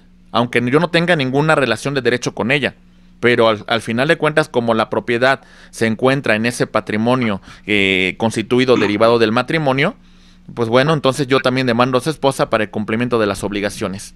Francisco. Ok, doctor, sí, gracias. Sí, muy bien. ¿en este caso serían considerados socios o colaboradores? No, son socios. Son socios son socios. Que no los confundan con el término que luego les dan algunas empresas que dicen, ay, no eres trabajador, eres, eres un socio o eres colaborador. No, no, no, o sea, es un trabajador. Ya ve que Walmart muchas veces a sus trabajadores les da la categoría de, de socios, ¿no? Pero la realidad es que no es así. Eh, eh, es, un, es un trabajador y deben de cumplir con las obligaciones derivadas de esta relación. Ok, gracias, profesor. Sí, a sus órdenes. Muy bien. ¿Vamos bien? Ok, en esta sociedad, si, quisiéramos admitir un nuevo socio, debe haber un acuerdo de todos los socios y por mayoría van a decidirlo, ya sea en asamblea general ordinaria o extraordinaria. ¿Vamos bien, compañeros? Ok, siguiente sociedad. Fíjense que yo estuve como, como dos, dos, años, en el registro público en total estuve como cinco años. De esos, dos años estuve en comercio y tres años en propiedad, más o menos. Cuando estuve en comercio, la mayor, el 98% de sociedades que se constituyen en nuestro país son sociedades anónimas. Muy pocas sociedades se constituyen bajo la, la categoría de las otras que estamos mencionando. Otro tipo de sociedad que se constituye eh, es la sociedad de responsabilidad limitada, que ahorita platicamos en qué consiste. Pero bueno, vamos a empezar con la sociedad en comandita simple. Atención, hay dos clases de socios. Los socios comanditados y los socios comanditarios. Normalmente los comanditados son los socios que vamos a llamar fundadores. A ver, fíjense lo que voy a platicar, ¿eh? Si nos interesa admitir nuevos socios, pero lo que no queremos los fundadores, que esos nuevos socios tomen decisiones trascendentales para la empresa.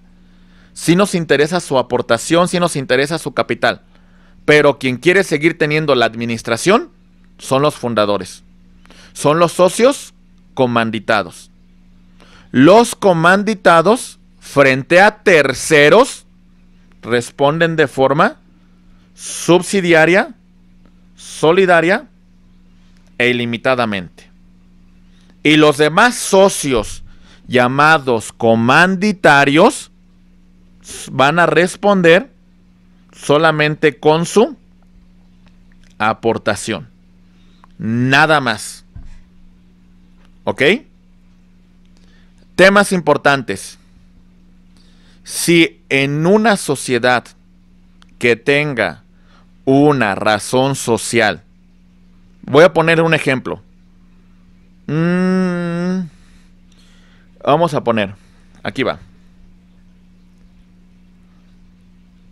Hay tres socios comanditados. A, B y C. Muy bien. Estos son socios comanditados. Y hay otros socios, hay otros socios comanditados que son, comanditarios que son D, E y F. Muy bien. Primera hipótesis. La sociedad se llama A, B y C, sociedad en comandita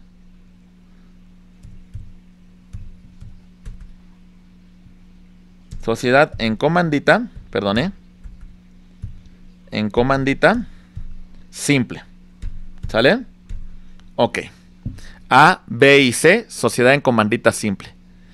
Si por alguna razón cambia su razón social y ahora se llama A, B, C y D, sociedad en comandita simple, hay, un, hay una situación importante.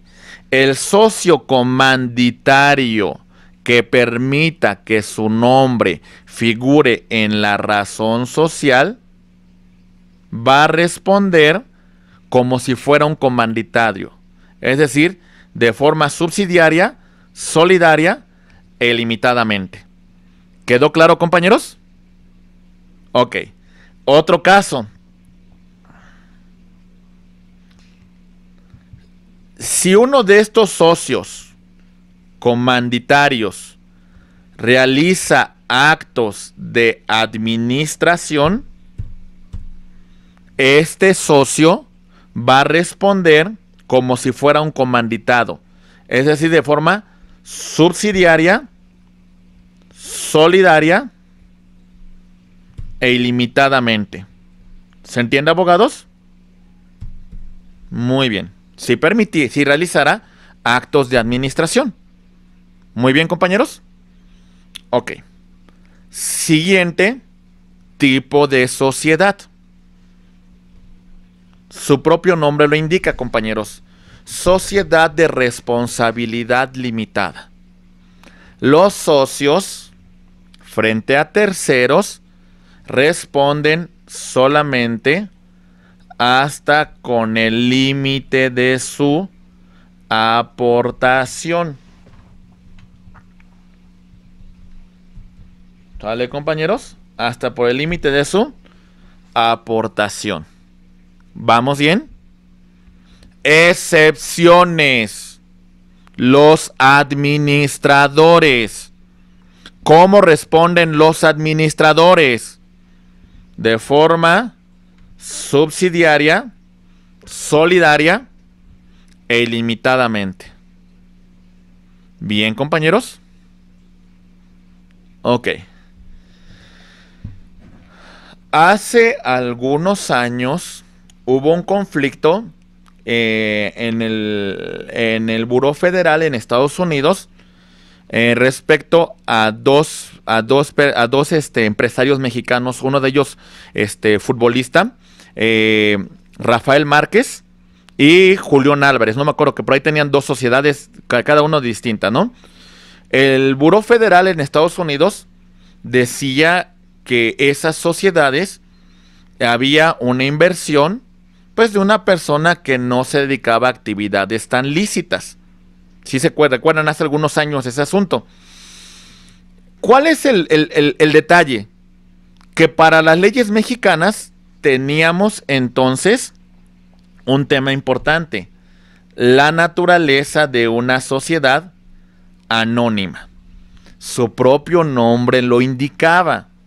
Lo importante no es el socio, sino la aportación que está realizando. ¿Se entiende, compañeros? Lamentablemente, ¿saben para qué se ocupaba eso? Para el lavado de dinero. Mi dinero era ilícito, pero constituía una sociedad y de ahí, pues de alguna manera salía. Lamentablemente esto se prestó a estos puntos. Por eso, en estas leyes en contra del lavado de dinero, sí nos interesa saber de dónde viene el capital.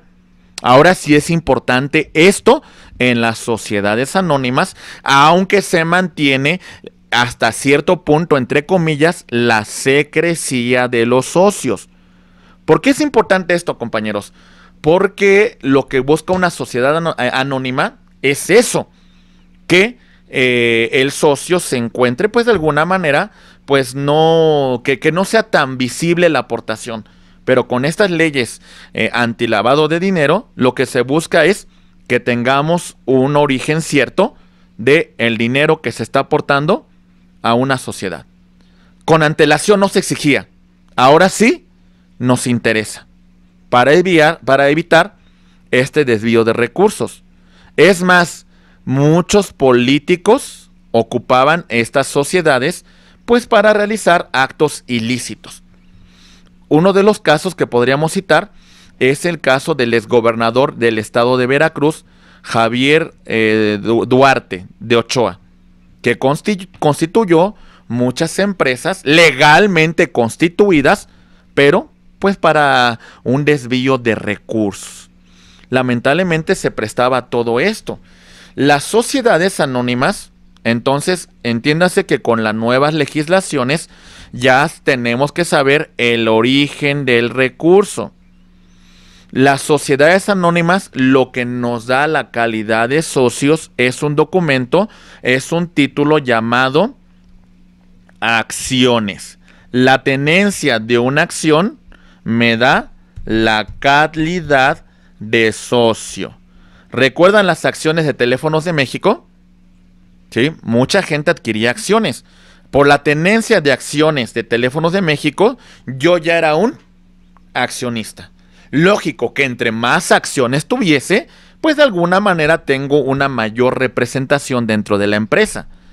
Carlos Slim no es el dueño absoluto de Teléfonos de México, pero sí es un accionista mayoritario. Es una persona que tiene el mayor número de acciones de Teléfonos de México. ¿Se entiende, compañeros? Muy bien. Entonces, entiéndase esto, compañeros. En las otras sociedades que hemos visto con antelación, si queremos admitir un nuevo socio, lo hacemos en una asamblea. En esta sociedad, la calidad de socio me la da mi acción. Las acciones son las que me dan esa calidad de socio, la tenencia de la acción. ¿Se entiende, compañeros?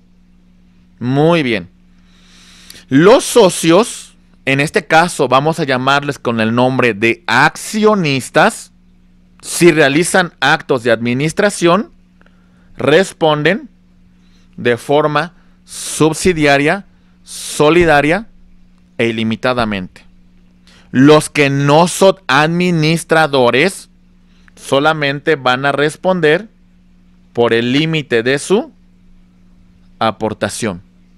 La aportación se encuentra representada en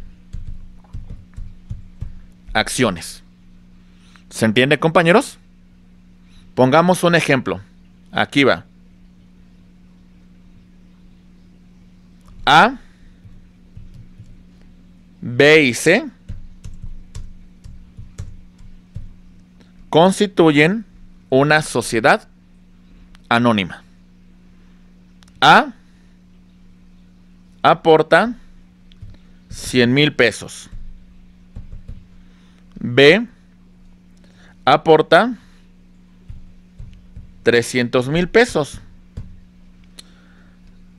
Y C aporta 200 mil pesos.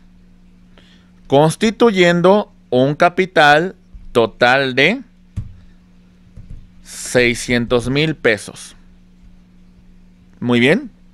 Y señalan que eh, ese capital se encuentra representada en 600 acciones.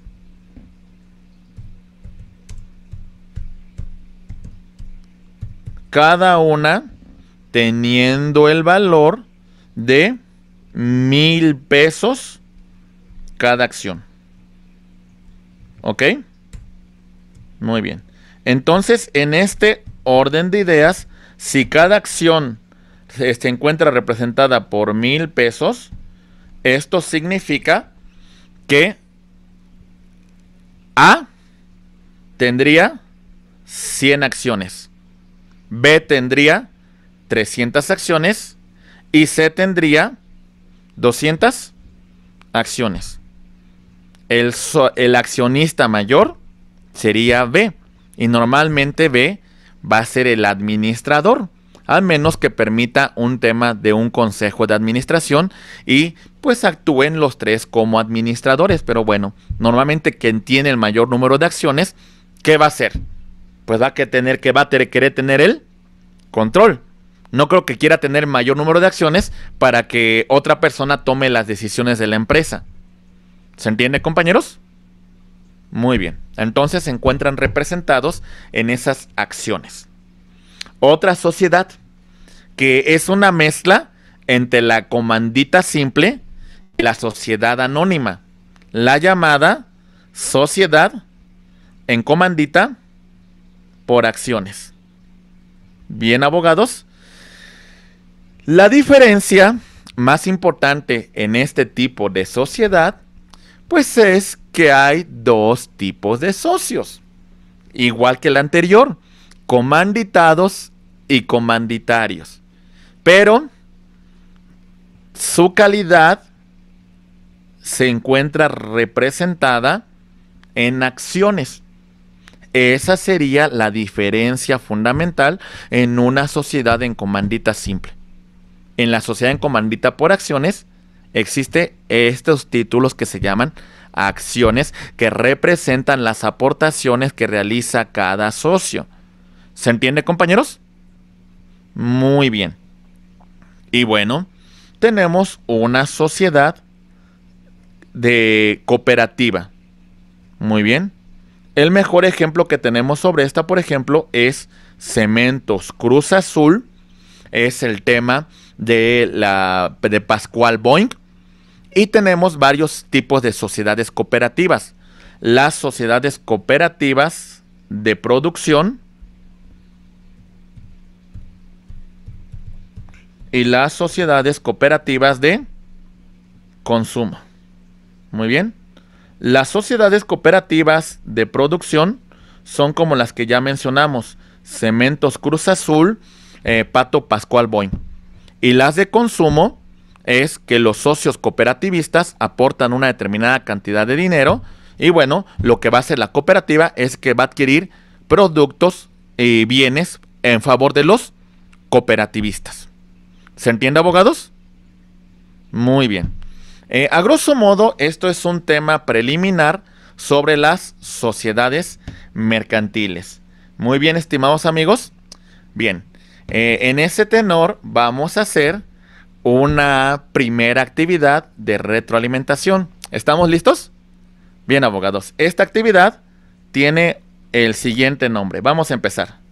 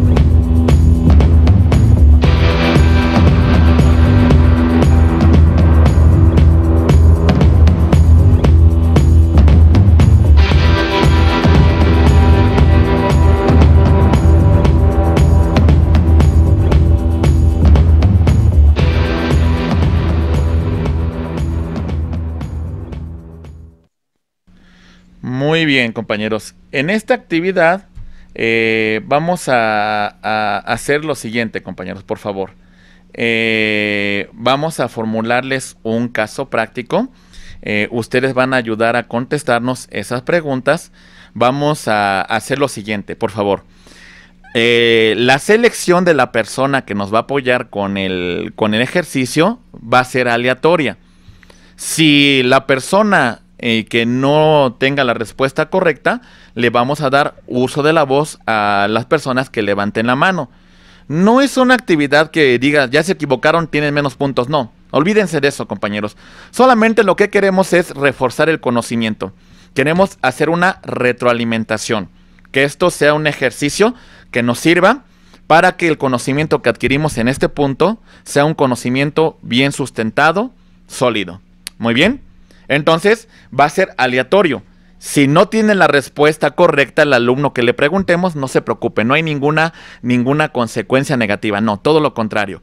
Le damos la oportunidad a otro alumno que haya levantado la mano que nos ayuda a participar. ¿Estamos listos, licenciado Omar? Estamos listísimos, doctor. Muchísimas gracias, chicos. Como dice el doctor, vamos a iniciar nuestra primera actividad de retroalimentación del día, llamada Es Mágico el doctor ya lo resumió perfectamente. Vamos a elegir un nombre al azar de nuestros asistentes y realizamos una pregunta muy sencilla. También les damos las respuestas, las soluciones. Y ustedes nos dicen qué respuesta es la correcta. ¿Alguna duda, chicos, chicas? Ninguna, perfecto. Pues vámonos lleno con nuestra primera actividad.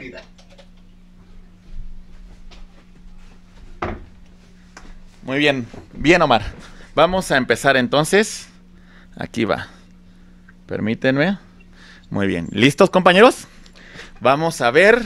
Vamos a hacer magia. ¿Qué te parece, Omar? Me parece perfecto. Vamos a ver quién sale. A ver, vamos a ver. Ahí va.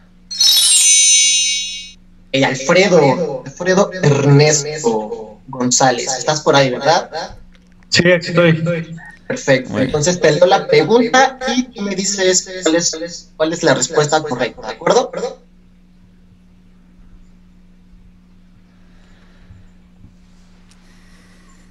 Muy bien. La pregunta dice así.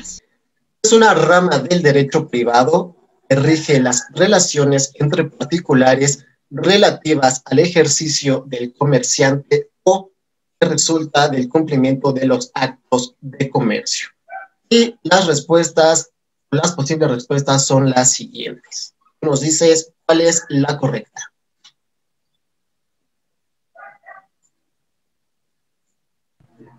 ¿Es derecho mercantil? Perfectamente bien contestado, Doc. Excelente respuesta, mi estimado. Vámonos con la siguiente. Vámonos con la siguiente. Muy bien. Vamos a ver, vamos a hacer magia. A ver quién sale, a ver quién sale, Omar. Y. todos listos. Está listísimo. Trejo Rincón. Está por acá nuestra compañera Jimena Trejo. Sí, aquí estoy. Perfecto, Jimena. Pero la pregunta y nos dices cuál es la respuesta correcta, ¿de acuerdo? Dice, de conformidad con el Código de Comercio, se consideran actos de comercio los siguientes. Como puedes ver, se despliegan diferentes puntos y tú nos tienes que decir cuál es la respuesta correcta.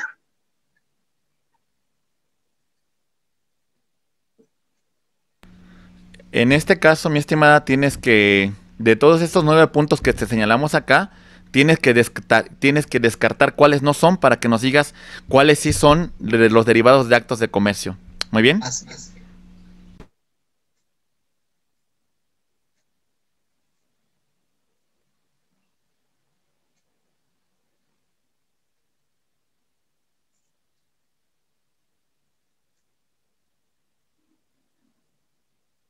Maré, también, a ver.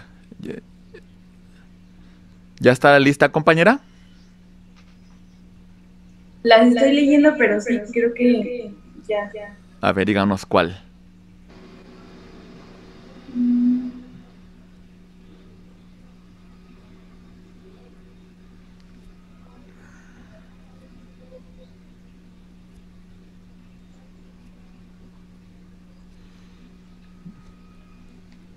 ¿Cuál Creo de los que es la B. ¿B de bueno? Sí. Mm, no. Omar, alguien que haya levantado la manita, alguien que tengas por ahí.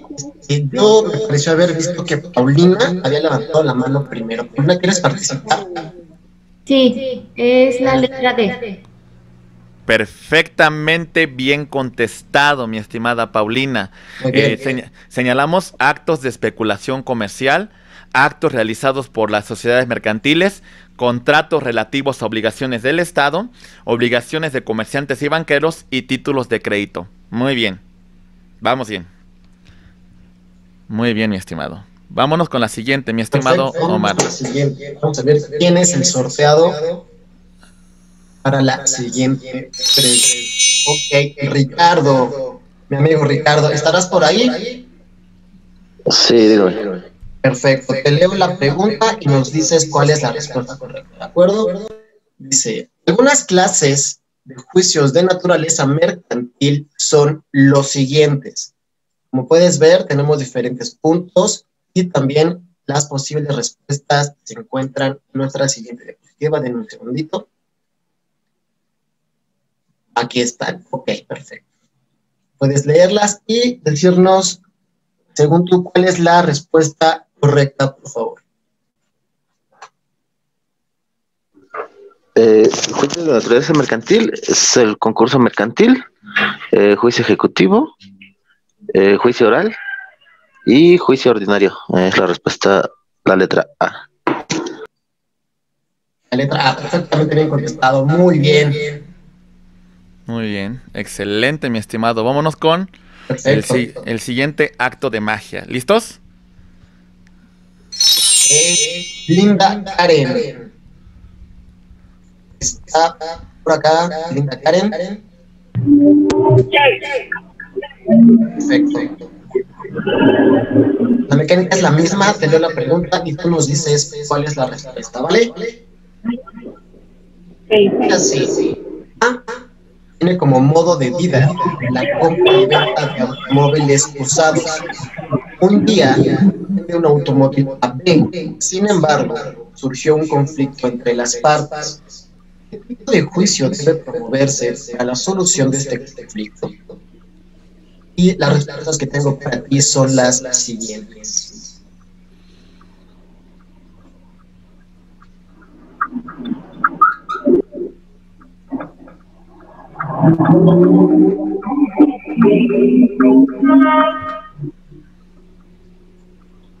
La D. ¿D de dedo? La letra D.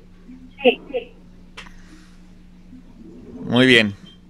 Perfectamente bien contestado. Muy bien, Linda. Muy bien, muchísimas gracias. Doctor, con el siguiente nombre, ¿qué le parece? Ahí va, ¿listo? Ok. No, ya salió. Ah, Ay, perdón. Luego vamos a hacerlo una vez más. Víctor Hugo, mi amigo Víctor Hugo.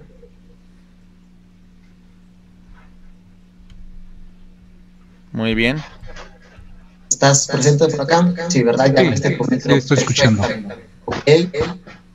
La pregunta es la siguiente. La sociedad mercantil A celebra un contrato de compra-venta de materia prima con la sociedad mercantil B. Sin embargo, durante la celebración de este contrato surgió una controversia entre las partes en conflicto. La pregunta es, ¿qué tipo de juicio debe promoverse para la resolución del presente conflicto? Y las respuestas que tengo para ti son las siguientes. Aquí está. Sería la B. Juicio de naturaleza mercantil de que las partes involucradas son sociedades constituidas conforme a la ley. Perfectamente bien contestado. Muy, muy bien, Víctor. Doctor, están participando mucho.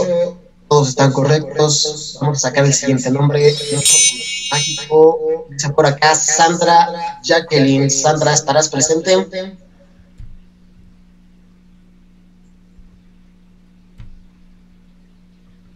Sí. Perfectamente. Ok. El caso práctico para ti es el siguiente. A es un juez mercantil en la Ciudad de México en un juicio donde interviene B. Se encuentra vendiendo una maquinaria de uso industrial, por lo que el juez A decide participar en la transacción. ¿Tiene algún impedimento A para participar en este acto de comercio? Las respuestas se encuentran aquí y nos dices cuál crees que es la correcta.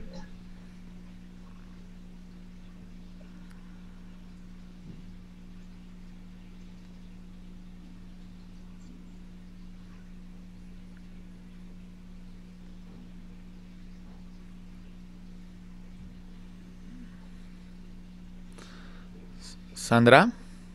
¿Sabes Sandra, verdad, Omar? A ver, Sí. ¿Cuál sería? Es la. ¿La B?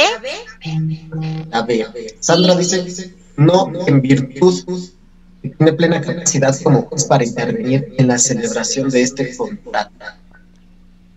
Mm, mm. No. Ok, ¿Le parece que le demos el uso de la voz a alguien más? Yo vi acá levantar la mano a mi amigo Francisco. Francisco. Es la letra Bueno. C. Sí, en, vir- en- en virtud que existe un conflicto de intereses en este, Ah, en este caso particular. oh, ah, eh, pudiese ser, pero vamos a hacer. va- Es la D. ¿Cuál dice? La D. La letra D. Letra Ok. D de Daniel. La respuesta dice, si en virtud existe un impedimento legal para que los jueces conocen de una controversia, puedan intervenir en la celebración del acto de comercio. Ok, perfecto. Sería la respuesta más adecuada para esta pregunta. Sí, el juez tiene un impedimento por la ley para participar e intervenir en estos actos de comercio en donde él comparezca como juez. ¿Vamos bien, compañeros? Perfecto. Pues Perfecto. vamos a pasar para la siguiente pregunta. ¿Quién saldrá ¿Listo? Listísimos. De este lado sale Ya, Hugo de nuevo. No, ya. Vamos a- honra. Vamos a sacarlo una vez más. Norma Gabriela. Está por acá. Presente. Perfecto, muchísimas gracias. Tu pregunta es la siguiente. Si los socios en una sociedad de nombre colectivo responden sobre sus obligaciones de forma, tenemos acá las respuestas. Tú dices cuál crees que es la correcta. Es de forma limitada, solidaria, subsidiaria y sería el inciso D de dedo.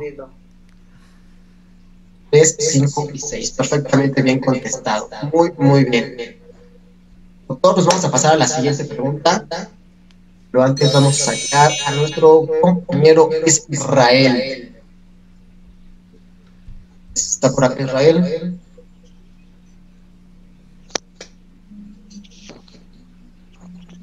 Israel no lo veo conectado.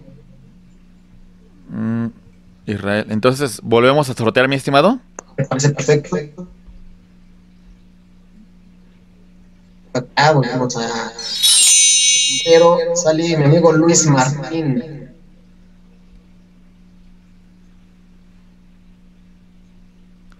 Luis Martín. ¿Sí lo vemos, Omar? Luis Martín, eh, estamos buscando, no lo veo por acá. Los asistentes, me parece que vamos a tener que sacar otro nombre, ¿le parece? Ahí va. Perfecto. Adán. Tú me dices, mi estimado. De este lado, Adán, Adán. Vemos acá. Sorteo. ¿Eh? ¿Otro nombre? Andrés Roberto. Andrés. Andrés. Ah, ah, a ver, otro sorteito rápido antes. Si no.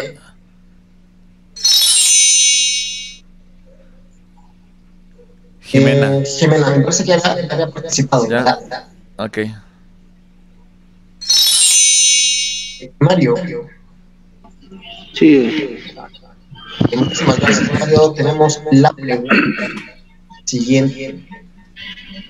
siguiente. Tenemos que llenar ambos. Nos dice cuál es eh, la respuesta correcta. Todo dice, en una sociedad como maldita simple, los socios responden de forma subsidiaria, solidaria ilimitada, mientras que los socios responden solo hasta con el límite de su reputación.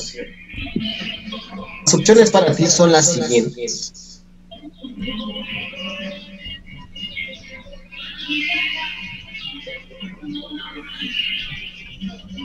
Adelante.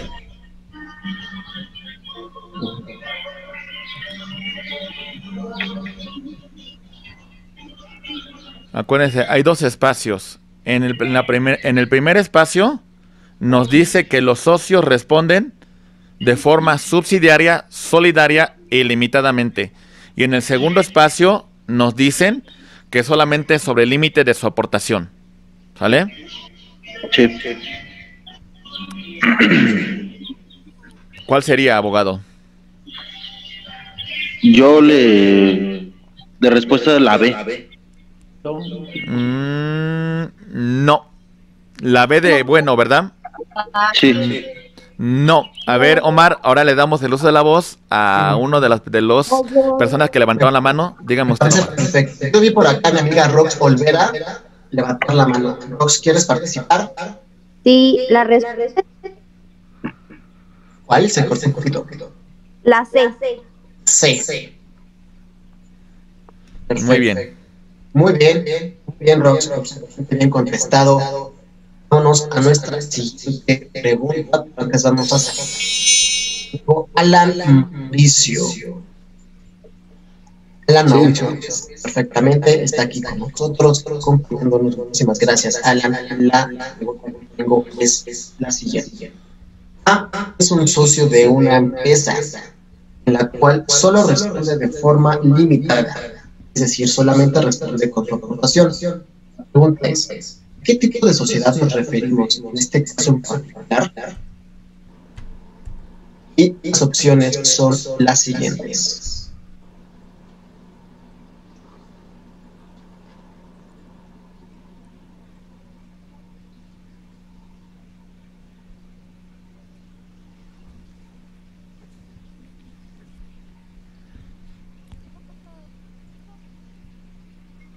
Oh, abogados.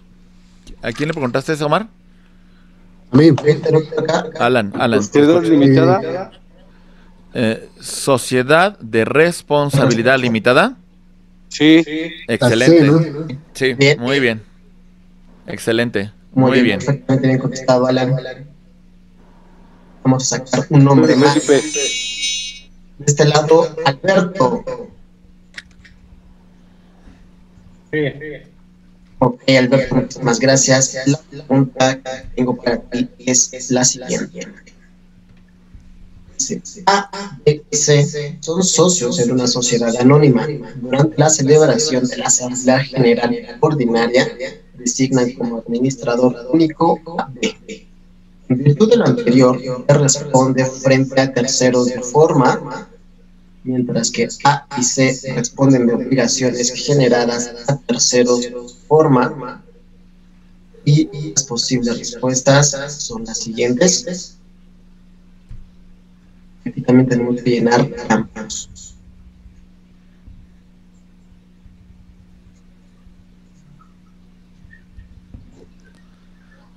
Acuérdense, en el, primer, en el primer rubro hablamos del administrador y en el segundo hablamos de los otros socios que no administran.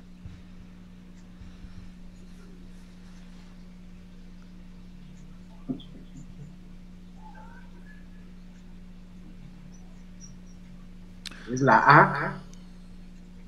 Mm, no. No, no ¿Damos, ¿Damos la oportunidad a alguien más, doctor? Claro que sí, Omar. Perfecto. Yo vi por acá mi amiga Sandra, que tiene levantada la mano desde hace rato. Sandra, ¿quisieras participar? Eh, sí, es la C. Ok, perfecto. 4 y 1. El socio administrador responde de forma subsidiaria, solidaria e ilimitadamente. Y el los socios que no administran solamente hasta el límite de su aportación. Muy bien. Muy bien, bien. Perfecto, muy bien, mi estimado Omar. Y bueno, pues prácticamente con esto termina la primera parte y decimos la siguiente frase. Malcolm X nos dice, sin educación no vas a ninguna parte en este mundo. Muy bien, perfecto. Mi estimado amigo Omar, pues mira, siendo las 11.30 de la mañana, con objeto de que tomen un cafecito, de que se paren un poquito, de que tomen un poco de agua, ¿qué te parece, mi estimado Omar, si les damos 15 minutitos para que hagan esta actividad? perfecto. Son las 11 de la mañana con 30 minutos. Exactamente a las 11 con 45 minutos vamos a continuar, estimados amigos. Muchísimas gracias. Hicieron un excelente trabajo. Gracias.